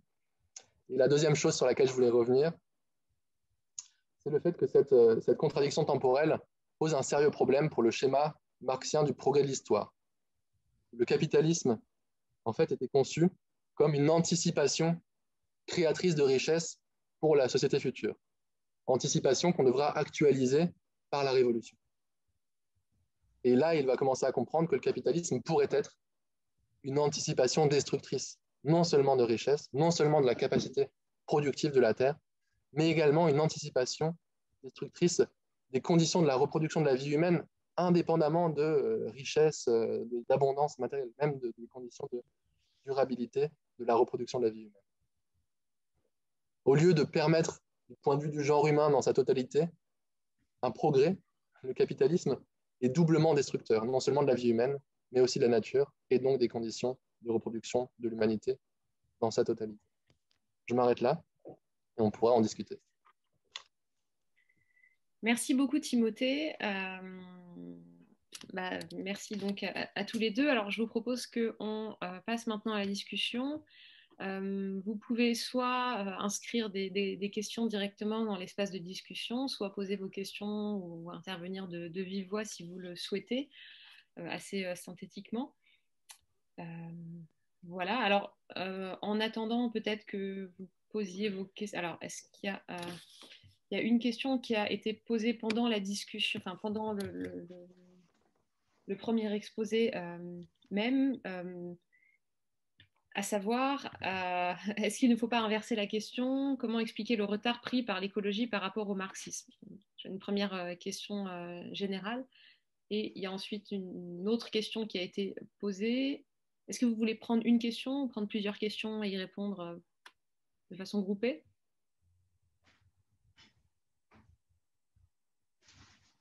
Non? Pas de, pas de préférence? Peut-être c'est plus simple de faire question par question, sinon moi je vais oublier les.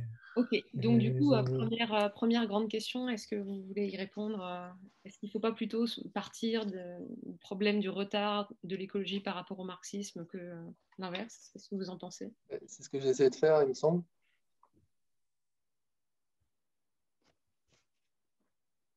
Donc, donc, c'était l'idée, en fait. Il y a une raison de ce retard qui est l'ambivalence du texte de Marx. N'est pas si aisément interprétable dans un sens écologiste. Par ailleurs, si on pense au, au fait que les, disons, le, la, comment dire, l'arrivée d'une, comment dire, d'une conscience écologique et d'une d'un mouvement écologiste euh, sur la place publique euh, à la fin des années 60, dans les années 70, elle se fait quand même à un moment aussi euh, où le marxisme est quand même pas mal associé à l'industrie lourde soviétique. Et quand on pense Marx, on pense quand même plutôt aux combinats sidérurgiques de l'Oural que à, à l'écologie, il me semble. Enfin, c'est aussi le moment quand même où on commence à entendre parler des désastres de la mer d'Aral, des histoires comme ça. Et du coup, je pense qu'il y a aussi un, quelque chose de cet ordre-là dans l'histoire de, de, du rapport entre écologie et marxisme qui s'est joué. Enfin, je ne sais pas ce que tu en penses, Timothée, mais je pense que ça rentre. Oui, ouais, tout à fait. En fait, ce qui est assez fascinant, c'est que les, arguments qu'ont opposés les marxistes euh, malthusianisme, par exemple, de l'écologie politique, ont été euh, assez, assez directe de la première euh, conception de Marx, en fait, que les limites naturelles n'ont pas d'effectivité. On a un texte assez formidable euh, là-dessus de, David Harvey qui répond en fait au rapport du Club de Rome sur les limites naturelles. Et David Harvey va dire en fait qu'il euh, n'y a pas d'effectivité des limites naturelles pour le capital qui produit lui-même en fait ces, conditions de production. Et il va le dire en se référant au Grundrisse et il va le dire en se référant à l'idéologie de la, la, euh, chinoise euh, va citer des rapports de, cette révolution chinoise qui disent que le communisme sera capable de dépasser toute limite naturelle. Voilà, il y a ce paradoxe-là qui est donc en partie fondé sur, euh, comme l'a dit Victor, un certain contexte politique, etc., mais aussi sur des lectures de Marx qui sont encore encore en prise avec un ancien paradigme qui, n'a pas été transformé. Si je peux juste rajouter un tout petit mot à ce propos, il y a aussi en URSS et en Allemagne de l'Est euh, des travaux d'écologie euh, très, très intéressants euh, dans les années 80. Il y a des savants soviétiques qui commencent à dire non mais attendez, vous faites n'importe quoi avec votre, culture du coton à côté de la mer d'Aral. Il y a des travaux de marxologie très confidentiels en Allemagne de l'Est à la fin des années 80, des années 90, qui soulignent tout ce, tout ce dont on vient de parler à partir des sources, sauf que ça, bah, c'est complètement inconnu et c'est complètement passé aux oubliettes de l'histoire. Ok, merci beaucoup. Alors, il y a une question de euh, Daniel Talmuro et une question aussi de quelqu'un qui m'a demandé euh, euh, il y a quelques minutes si c'était possible de poser une question de vive voix. Du coup, je propose d'entendre la question de Gérald Mazo, puis après, on prendra la question de Daniel Talmuro. Est-ce que Gérald, vous pouvez. Ok, merci Alix. c'est une question pour Timothée. Alors peut-être il y a eu déjà des informations, je n'ai pas pu prendre l'intervention de, de, Victor dès le début, donc je, au risque d'avoir raté quelque chose.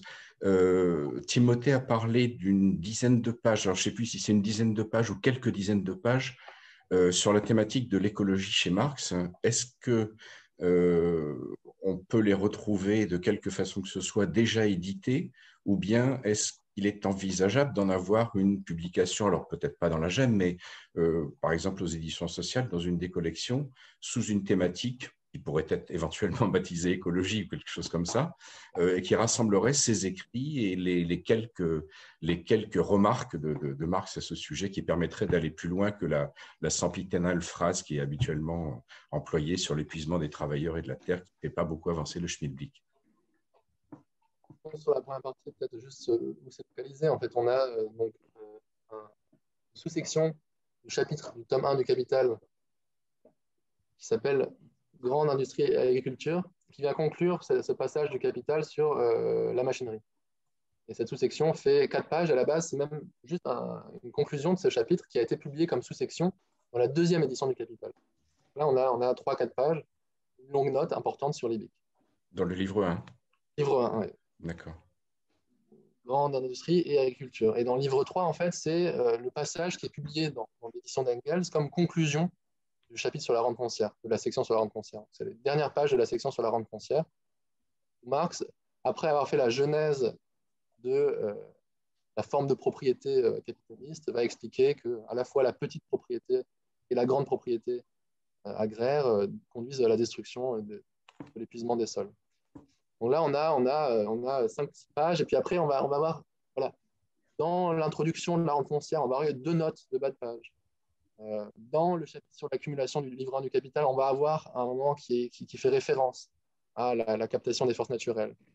Euh, on a des, passages très, très clairsemés comme ça. Mais c'est ça qui fait la difficulté, en fait. Il faut vraiment reconstruire quelque chose que Marx avait laissé en chantier. Mais est-ce euh, que même... Oui, Je pense que c'est pour ça que c'est décevant d'une certaine manière quand on, lit un texte qui nous dit voilà Marx était l'écologiste avant l'heure, etc. et qu'on va voir dans les textes, on a peu de matériaux écrit, publié, inséré dans un argument par Marx. On a énormément de matériaux qui sont des notes de lecture. Marx a encore euh, eu du mal à les, insérer. Et il dit dans le tome 1 du Capital, je vais m'en occuper plus tard dans le tome 3 du Capital, mais celui-là n'est jamais paru. Il avait envie de faire quelque chose qu'il n'a pas fait. Mais est-ce que néanmoins, même dans cet état d'inachèvement, et ce n'est pas le seul parti qui est inachevé chez Marx, ça ne serait pas intéressant d'en faire une publication thématisée? Je laisse la parole à Victor peut-être. Oui, alors en fait, le, problème que je soulevais euh, brièvement tout à l'heure, c'est que le problème avec ces matériaux, c'est que ce sont vraiment des matériaux bruts dans lesquels il n'y a presque pas un mot qui est de Marx lui-même. C'est une collection de citations. Du coup, c'est difficile de, d'envisager une publication de ces textes-là, dans la mesure où, encore une fois, ça reviendrait juste à livrer euh, des centaines de pages de matériaux bruts. Euh, du coup, voilà, c'est assez compliqué et, et, je pense que la question de la publication, de, de la traduction de ces matériaux-là se pose toujours de manière euh, concrète en fonction des matériaux. Là, en l'occurrence, pour avoir parcouru tous ces matériaux-là, je peux vraiment affirmer qu'il n'y a presque pas une seule ligne de Marx lui-même. Il y a c'est des citations. Et par ailleurs, juste pour préciser aussi que la rédaction du manuscrit du livre 3 qui a été publié par Engels, qui a servi de base au travail d'Engels, elle est immédiatement antérieure au cahier de notes sur l'agriculture dont j'ai parlé tout à l'heure, euh, ce qui explique en fait pourquoi cet immense matériau euh, n'apparaît quasiment pas dans, la rédaction du livre 3, notamment dans la rédaction du chapitre sur la rente foncière, c'est qu'en fait la, prise de notes est, immédiatement postérieure à, ce, travail-là. donc en gros, il reste aux marxistes d'aujourd'hui à faire ce travail-là. En fait, moi, je serais tenté de dire que c'est plutôt un boulot de, reconstruction interprétative avec une sélection de citations bien choisies, en fait. Moi, je pense que c'est plutôt ça qui est utile et qui a déjà été fait, d'ailleurs, notamment dans une superbe monographie d'un chercheur japonais qui s'appelle Kohei Saito, qui, lui, a vraiment fait ce travail-là de reconstituer le cheminement de Marx en sélectionnant les citations dans ses, dans ses cahiers de notes de manière, à mon avis, très, très convaincante. Et je pense qu'en fait, c'est c'est le, livrer le matériau brut en traduction et euh, je ne sais pas si c'est extrêmement utile en fait. Je pense que c'est plutôt un boulot de, sélection et de, et de reconstruction d'un trajet euh, à, l'intérieur de ce matériau-là qui est intéressant à mon avis. Hein. Ça, c'est mon opinion euh, personnelle. Et ce travail a été traduit, enfin, publié en français? Ça va sortir chez Sileps, non? Arrêtez-moi si je me trompe, mais ça devrait sortir chez Sileps en français. D'accord prochainement. Merci beaucoup. Euh, en passant d'ailleurs que cette question de la publication, de la traduction, la mise à disposition de manuscrits de Marx qui regroupe notamment des, euh, un nombre important de citations. C'est une question qu'on se pose beaucoup à la GEM, euh, euh, et donc c'est une question qui n'est pas fermée, hein, qui est ouverte, qui est en chantier, et c'est aussi utile de connaître l'intérêt des personnes, d'un lectorat éventuel pour ces questions-là, sachant qu'il est aussi possible de passer par des publications électroniques qu'on envisage mmh. de plus en plus pour les années à venir, des choses qui seraient à rendre accessibles, mais difficiles à constituer en livre. Euh, je vous propose de euh, euh, reprendre les questions parce qu'il y en a un certain nombre. dans l'ordre, il y a d'abord une question de Daniel Tanuro, puis après une question de Clara, me semble-t-il, et il y a encore des choses qui ont été écrites depuis. Alors, peut-être je peux lire la, question qui a été posée par Daniel Tanuro. la, notion de force destructive en législalement n'anticipe-t-elle pas le tournant écologique ultérieur de Karl Marx? Les marxistes après Marx ne se sont-ils pas trompés dans l'interprétation de ce passage de l'idéologie? Pour Karl Marx, les forces destructives étaient-elles celles du capital lui-même? Euh, Je peux répondre euh, avec Je pense que euh, non. je pense que l'idéologie allemande s'inscrit vraiment dans, le, cadre, j'indiquais, du, du productisme stratégique. Je pense que Marx pense les forces destructrices. Marx a toujours pensé la, la dimension destructrice du progrès capitaliste. Ça, c'est évident ce qui l'a qu'il a amené à, évoluer, c'est l'objet de cette destruction. Et il passe d'une conception de la destructivité capitaliste sur les rapports sociaux, sur la vie humaine euh, et euh, sur l'épuisement de cette vie humaine. Marx théorise déjà d'une certaine manière un épuisement de la vie humaine, un étiolement de la vie humaine par le capital. Et il passe euh, de ça à un élargissement où la destruction du capital porte sur la nature elle-même comme condition de reproduction de la vie humaine. Alors, on trouve certes dans l'idéologie allemande un passage sur la pollution des fleuves et des rivières, mais il n'est pas articulé dans une critique des conséquences que peut avoir cette pollution euh, sur euh, la reproduction de la vie humaine. Ce n'est pas, pas disons, un enjeu de taille. Et il me semble que l'élargissement de la destruction de la vie humaine à l'ensemble des conditions naturelles non humaines met en crise un présupposé de Marx qui était celui de la dimension positive et progressiste, du capital dans son rapport à la nature. Je ne sais pas si Victor a envie. Non, non, mais j'ai rien à ajouter. Ok, euh, alors on a une autre. je ne lis pas toutes les, remarques qui ont été écrites dans l'édition, parce que normalement tout le monde les, voit et j'en viens plutôt directement aux questions pour que vous puissiez euh, intervenir, mais n'hésitez pas à poser vos questions de, vive voix. Hein. Euh, alors, une question euh, de Clara, pensez-vous que le concept du fétichisme de la marchandise, expliquant en partie la soif irraisonnée des capitalistes pour une production et une productivité toujours croissante, puisse également s'inscrire dans une analyse écologiste des écrits de Marx? Timothée, c'est pour toi. Ouais, ok. Euh, évidemment, évidemment. En fait, Marx n'a pas fait le lien immédiat entre les deux, mais quand Marx explique que tout l'esprit de la production capitaliste euh, est régi par une temporalité qui est euh, indifférente à, la, durabilité des conditions d'existence, il montre qu'il y a une certaine nécessité implacable dans ce processus qui dépend de l'absence totale de contrôle social sur la production. Elle s'impose aux individus comme quelque chose qui est euh, naturalisé, qu'ils ne peuvent pas maîtriser socialement. Et cette idée-là d'une absence de contrôle social sur la production sur son, apparence de nécessité implacable, sur le fait qu'on ne puisse pas limiter euh, écologiquement la production, sur le capitalisme, quelque chose qui a été développé par certains marxistes, et d'ailleurs, l'un des premiers qui a fait une interprétation écologique de Marx, euh, qui, euh, un élève de Lucas qui, écrit sur le contrôle social, en fait, et il dit que le fétichisme empêche ce contrôle social. Donc c'est effectivement quelque chose qui a été fait et qu'on doit faire. En fait, c'est très, intéressant pour penser la difficulté sous le capitalisme à intégrer des, contraintes à l'économie qui sont extérieures à la seule fin de la valorisation, qui seraient des contraintes euh, finalement euh, comme euh, la durabilité de, de, la production, l'épanouissement de la vie humaine au-delà de l'économie. C'est l'auteur auquel je pense, c'est euh, Metzaros, il s'appelle. Euh, Metzaros, qui a écrit euh, Beyond Capital, un immense, une immense somme dans laquelle il va faire une interprétation écologique de Marx, un des premiers. Istvan Metzaros.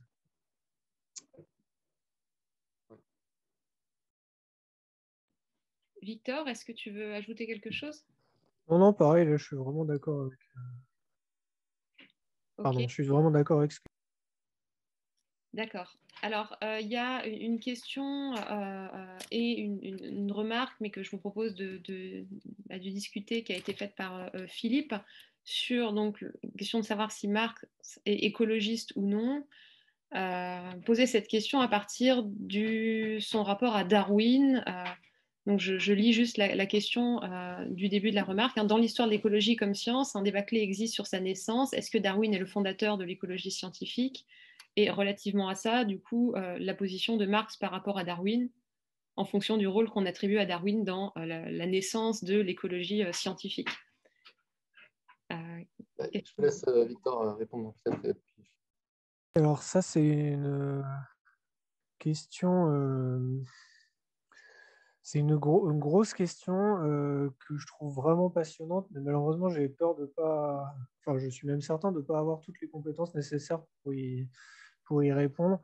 Je, dirais simple, enfin, je ferai simplement quelques remarques un peu factuelles sur les, connaissances de, Marx.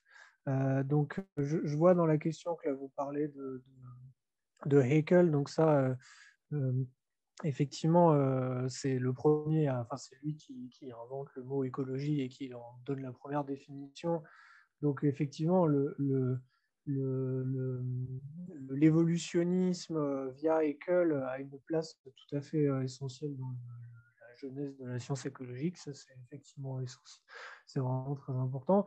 Et Marx connaît bien ça. déjà parce qu'il connaît bien Darwin et aussi parce que j'ai regardé dans le catalogue de la de Marx et Engels, et de fait, ils avaient la, Marx possédait la, morphologie générale de Haeckel, qui est le livre dans lequel il dessine pour la première fois l'écologie. Euh, il me semble même qu'il a pris des notes dessus, mais pas ce, pas, ce passage-là euh, en particulier. Donc là, je dois dire qu'il y a un peu, un, en tout cas dans ce que je connais des matériaux, il y a un peu un, trou qui fait que je ne peux pas complètement vous dire si euh, Marx euh, a une conscience euh, précise de cette intersection de ses propres travaux et de la, biologie évolutionniste qui va donner naissance notamment à l'écologie. Ça, j'avoue que je ne saurais pas trop dire. Mon, impression à ce propos, c'est qu'en fait, Marx ne, voit pas ou ne connaît pas ou n'a pas conscience de, du nœud qui se joue dans les années 80, en gros, et qui donne lieu à la formation de la science écologique consciente d'elle-même par croisement encore une fois, de la botanique, de la chimie euh, des sols et de la biologie évolutionniste. Je ne crois pas que Marx, euh, euh, que Marx ait vraiment conscience de ça. Je ne sais pas si c'est parce qu'il n'est pas au courant ou parce que c'est immédiatement après sa mort. Ça, je ne saurais pas trop dire, je n'ai pas des dates précises en tête. Mais en tout cas, de ce que je connais des documents, il n'y a pas vraiment de croisement euh, avec ça. Et par ailleurs, sur la question précise du rapport de Marx à Darwin et aux, théorisations de Darwin, ça, je ne connais pas assez bien les documents pour euh, répondre de manière précise. Donc, je préfère pas, pas développer là-dessus puisque je n'ai pas les compétences. Désolé. Peut-être un élément de réflexion qui est assez fascinant, c'est que en fait, l'écologie de Darwin, elle est apparue assez tard. Il y a un texte qui a été euh, fondateur pour la conception de l'agriculture biologique qui est le, texte de Darwin sur les vers de terre, qui est écrit en 81, un texte sur le rôle des vers de terre, euh, la formation de la terre végétale par l'action des vers de terre. Darwin, Marx aurait peut-être lu, mais c'était juste avant sa mort. Dans ce texte-là, Darwin va mettre en avant le rôle essentiel des êtres vivants dans la constitution du sol. C'est quelque chose qui manque dans la théorie de Liebig. Liebig, c'est un ingénieur agronome qui pense une théorie des engrais, de l'apport d'engrais euh, chimiques, phosphore, potassium, azote.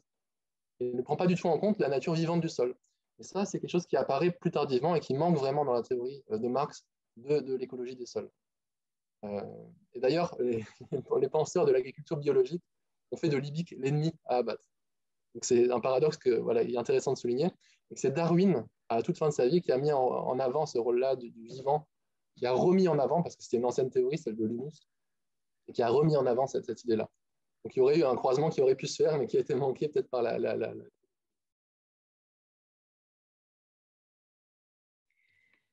Alors, euh, euh, deux, questions qui ont été posées euh, entre-temps. D'abord, donc une question de Jean-Claude Anglebert. Est-ce que vous avez des, des remarques sur, ou une analyse sur la place, enfin, ce qui est dit dans la critique du programme de Gotha quant à la place de la nature dans la production des richesses?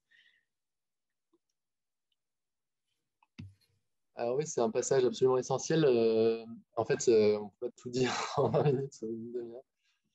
Un passage qui, met au jour aussi un renversement. Dans les Grundrisse, Marx va dire que voilà, le travail humain, est, ou même dans les Messeries 44, c'est le travail humain qui est source de toute richesse. Il étudie cette distinction plus tard entre valeur et richesse pour dire non, en fait, la nature est source de richesse. C'est cette nature en tant que source de richesse qui va être détruite par la production de valeur euh, capitaliste.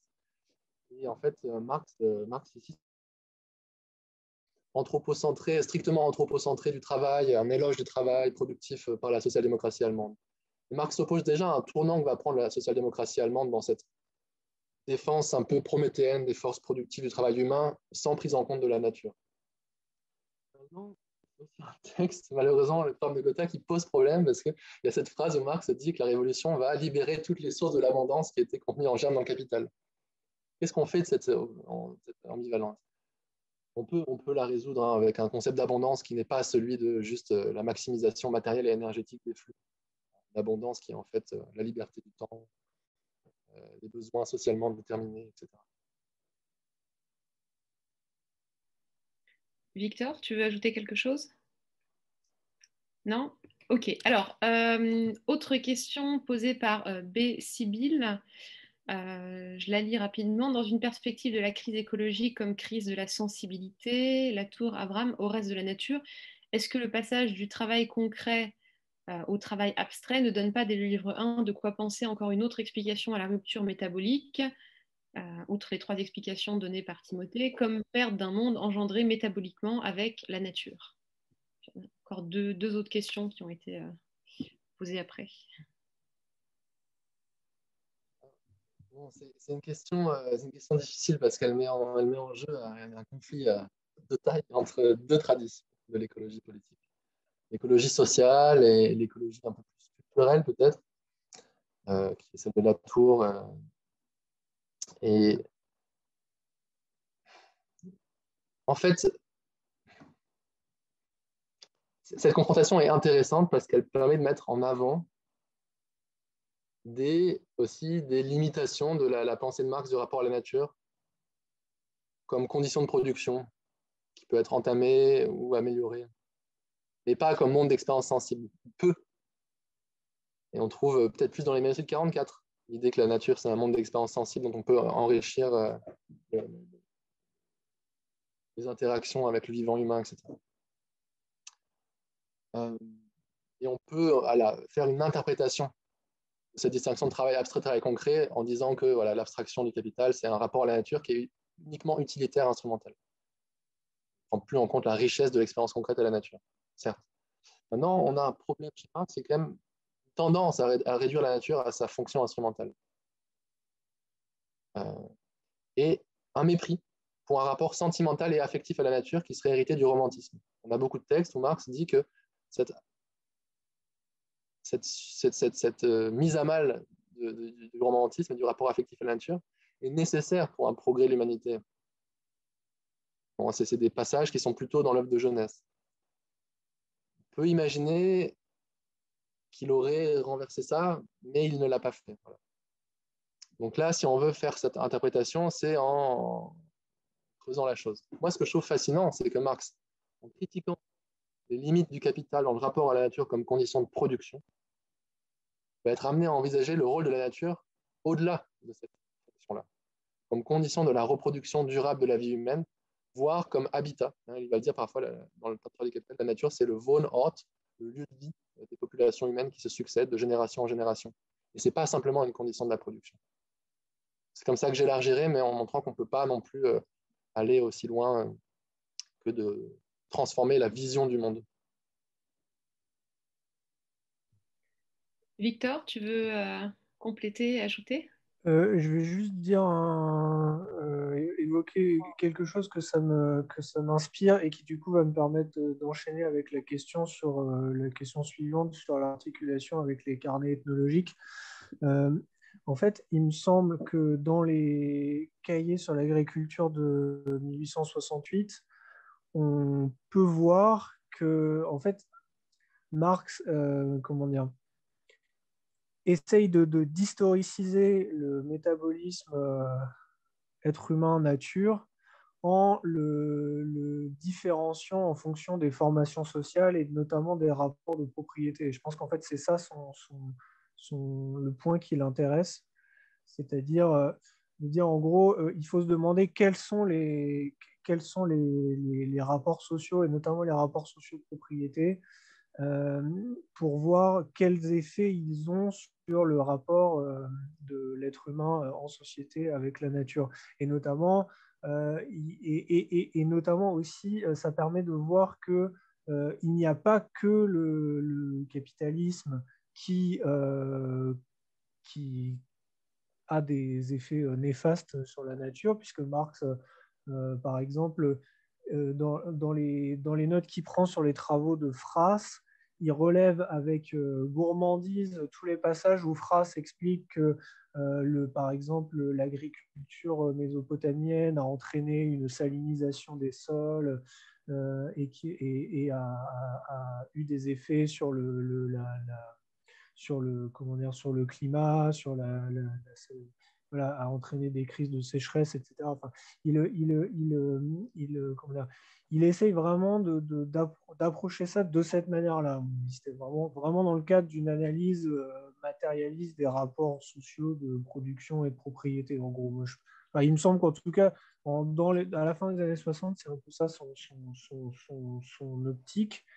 Euh, et du coup, ça me permet aussi de dire un mot sur le rapport avec les carnets sur l'ethnologie, puisqu'en fait, le moment où Marx euh, commence vraiment à faire des enquêtes précises sur les formations sociales pré-capitalistes, c'est en 1868, avec les notes qu'il prend sur euh, l'ouvrage de l'historien du droit qui s'appelle Maurer, je vous le mets dans le, dans le, dans le chat. Maurer, qui donc a écrit un ouvrage de référence sur, le, sur, le, sur les, rapports juridiques de propriété, notamment dans les anciennes communes germaniques, et du coup, c'est intéressant de voir que au moment où Marx lit les travaux de Frass sur, le, en gros, l'écologie humaine des formations sociales précapitalistes, il se met à s'intéresser à la nature des, rapports sociaux qui caractérisent ces, formations sociales. Et euh, il me semble que là, il y a un nœud qui est intéressant. C'est-à-dire, je, serais presque tenté de dire, mais j'exagère un peu en disant ça, que c'est par le biais de l'historicisation du métabolisme euh, nature-société euh, qu'il en vient à s'intéresser à la structure spécifique des rapports sociaux dans les formations sociales précapitalistes. J'exagère un tout petit peu en disant ça, mais en tout cas, ce qu'on peut constater, c'est que ça se fait au même moment. le moment où il s'intéresse à l'histoire du rapport, en gros, entre l'être humain et son environnement, l'histoire sociale du rapport entre l'être humain et son environnement, et précisément le moment où il commence à s'intéresser au fonctionnement des sociétés précapitalistes. J'espère que c'est clair, mon affaire. Timothée, tu veux compléter euh, sur cette question euh? Je suis entièrement d'accord, je trouve ça fascinant comme mise en rapprochement et j'avais trouvé ça fascinant dans, ton exposé que tu m'avais envoyé par écrit, Victor. C'est vraiment un, geste euh, intéressant parce qu'il permet de comprendre aussi ce que va faire Marx dans son rapport à la commune agraire russe, en fait. Qu'il y a quelque chose qui se joue dans cette forme de socialisation qui n'est pas juste arriéré, mais qui est peut-être en fait un germe de vie sociale qui serait durable par rapport à la nature. Qui va, il va renverser un peu ce, schéma du progrès de l'histoire nécessaire où le capital jouerait en fait le rôle de, tremplin. c'est quelque chose qui va être remis en question. Donc là, je rejoins tout à fait Victor et je rajoute juste cet élément pour indiquer les conséquences politiques qu'a euh, cet intérêt pour les sociétés précapitalistes. On devrait dire en fait société extra-capitaliste pour sortir de l'évolutionnisme. Et je rajoute juste un petit mot à ce propos qui est que dans une lettre à Engels où Marx parle de sa lecture de Frass, il lui dit mais c'est génial, ce type qui, a des fonctions officielles euh, dans, l'administration agricole en Bavière, en fait, est un socialiste euh, qui s'ignore, puisque euh, nous, en nous montrant que le métabolisme de, de, la nature et de la société est historique, il nous donne aussi, il nous ouvre la possibilité de penser à un rapport euh, consciemment organisé de l'être humain à son environnement. Et là, du coup, euh, Marx dit clairement, euh, il y a un germe de socialisme quelque part dans cette histoire. Merci beaucoup. Alors, pour finir, et ce sera, je pense, la dernière petite série de questions, vu qu'il est midi passé, euh, juste une question de clarification à propos de ce qui a été dit sur la critique du programme de Gotha. Est-ce que l'abondance à laquelle Marx fait référence est matérielle ou euh, culturelle? Et, euh, oui, donc déjà, du coup, peut-être cette question. Difficile à répondre. Je pense que c'est pas tranché. Je pense que c'est l'interprétation qui tranche. Je pense que si on le lit vraiment de manière immanente dans les textes qui précèdent, c'est matériel si on veut en faire une lecture un peu intéressante, euh, on, peut, tenter la voie culturelle. Je, m'en tiens là parce que c'est pas tranché. Victor? Je souscris à cette prudence. ok. Euh, eh bien, écoutez, il est midi, il est midi 5. Euh, merci beaucoup à, euh, Timothée et Victor et merci à toutes les personnes qui ont participé à la discussion et qui ont assisté à la séance. Hein. Il y a beaucoup de commentaires qui ont été, mis dans la discussion, mais que je n'ai pas pris le temps de lire. mais normalement, tout le monde peut les, voir, donc tout le monde a dû pouvoir les lire. Bah voilà, on est très contente et content, je pense, de, de cette séance on espère que ces discussions pourront être prolongées dans d'autres euh, séances à venir ou à l'occasion d'autres publications, euh, soit à la GEM, soit aux éditions sociales ou autres collections, qui pourront revenir sur ces questions du rapport entre Marx, euh, Marx Engels, marxisme et écologie dans les mois ou les années qui viennent.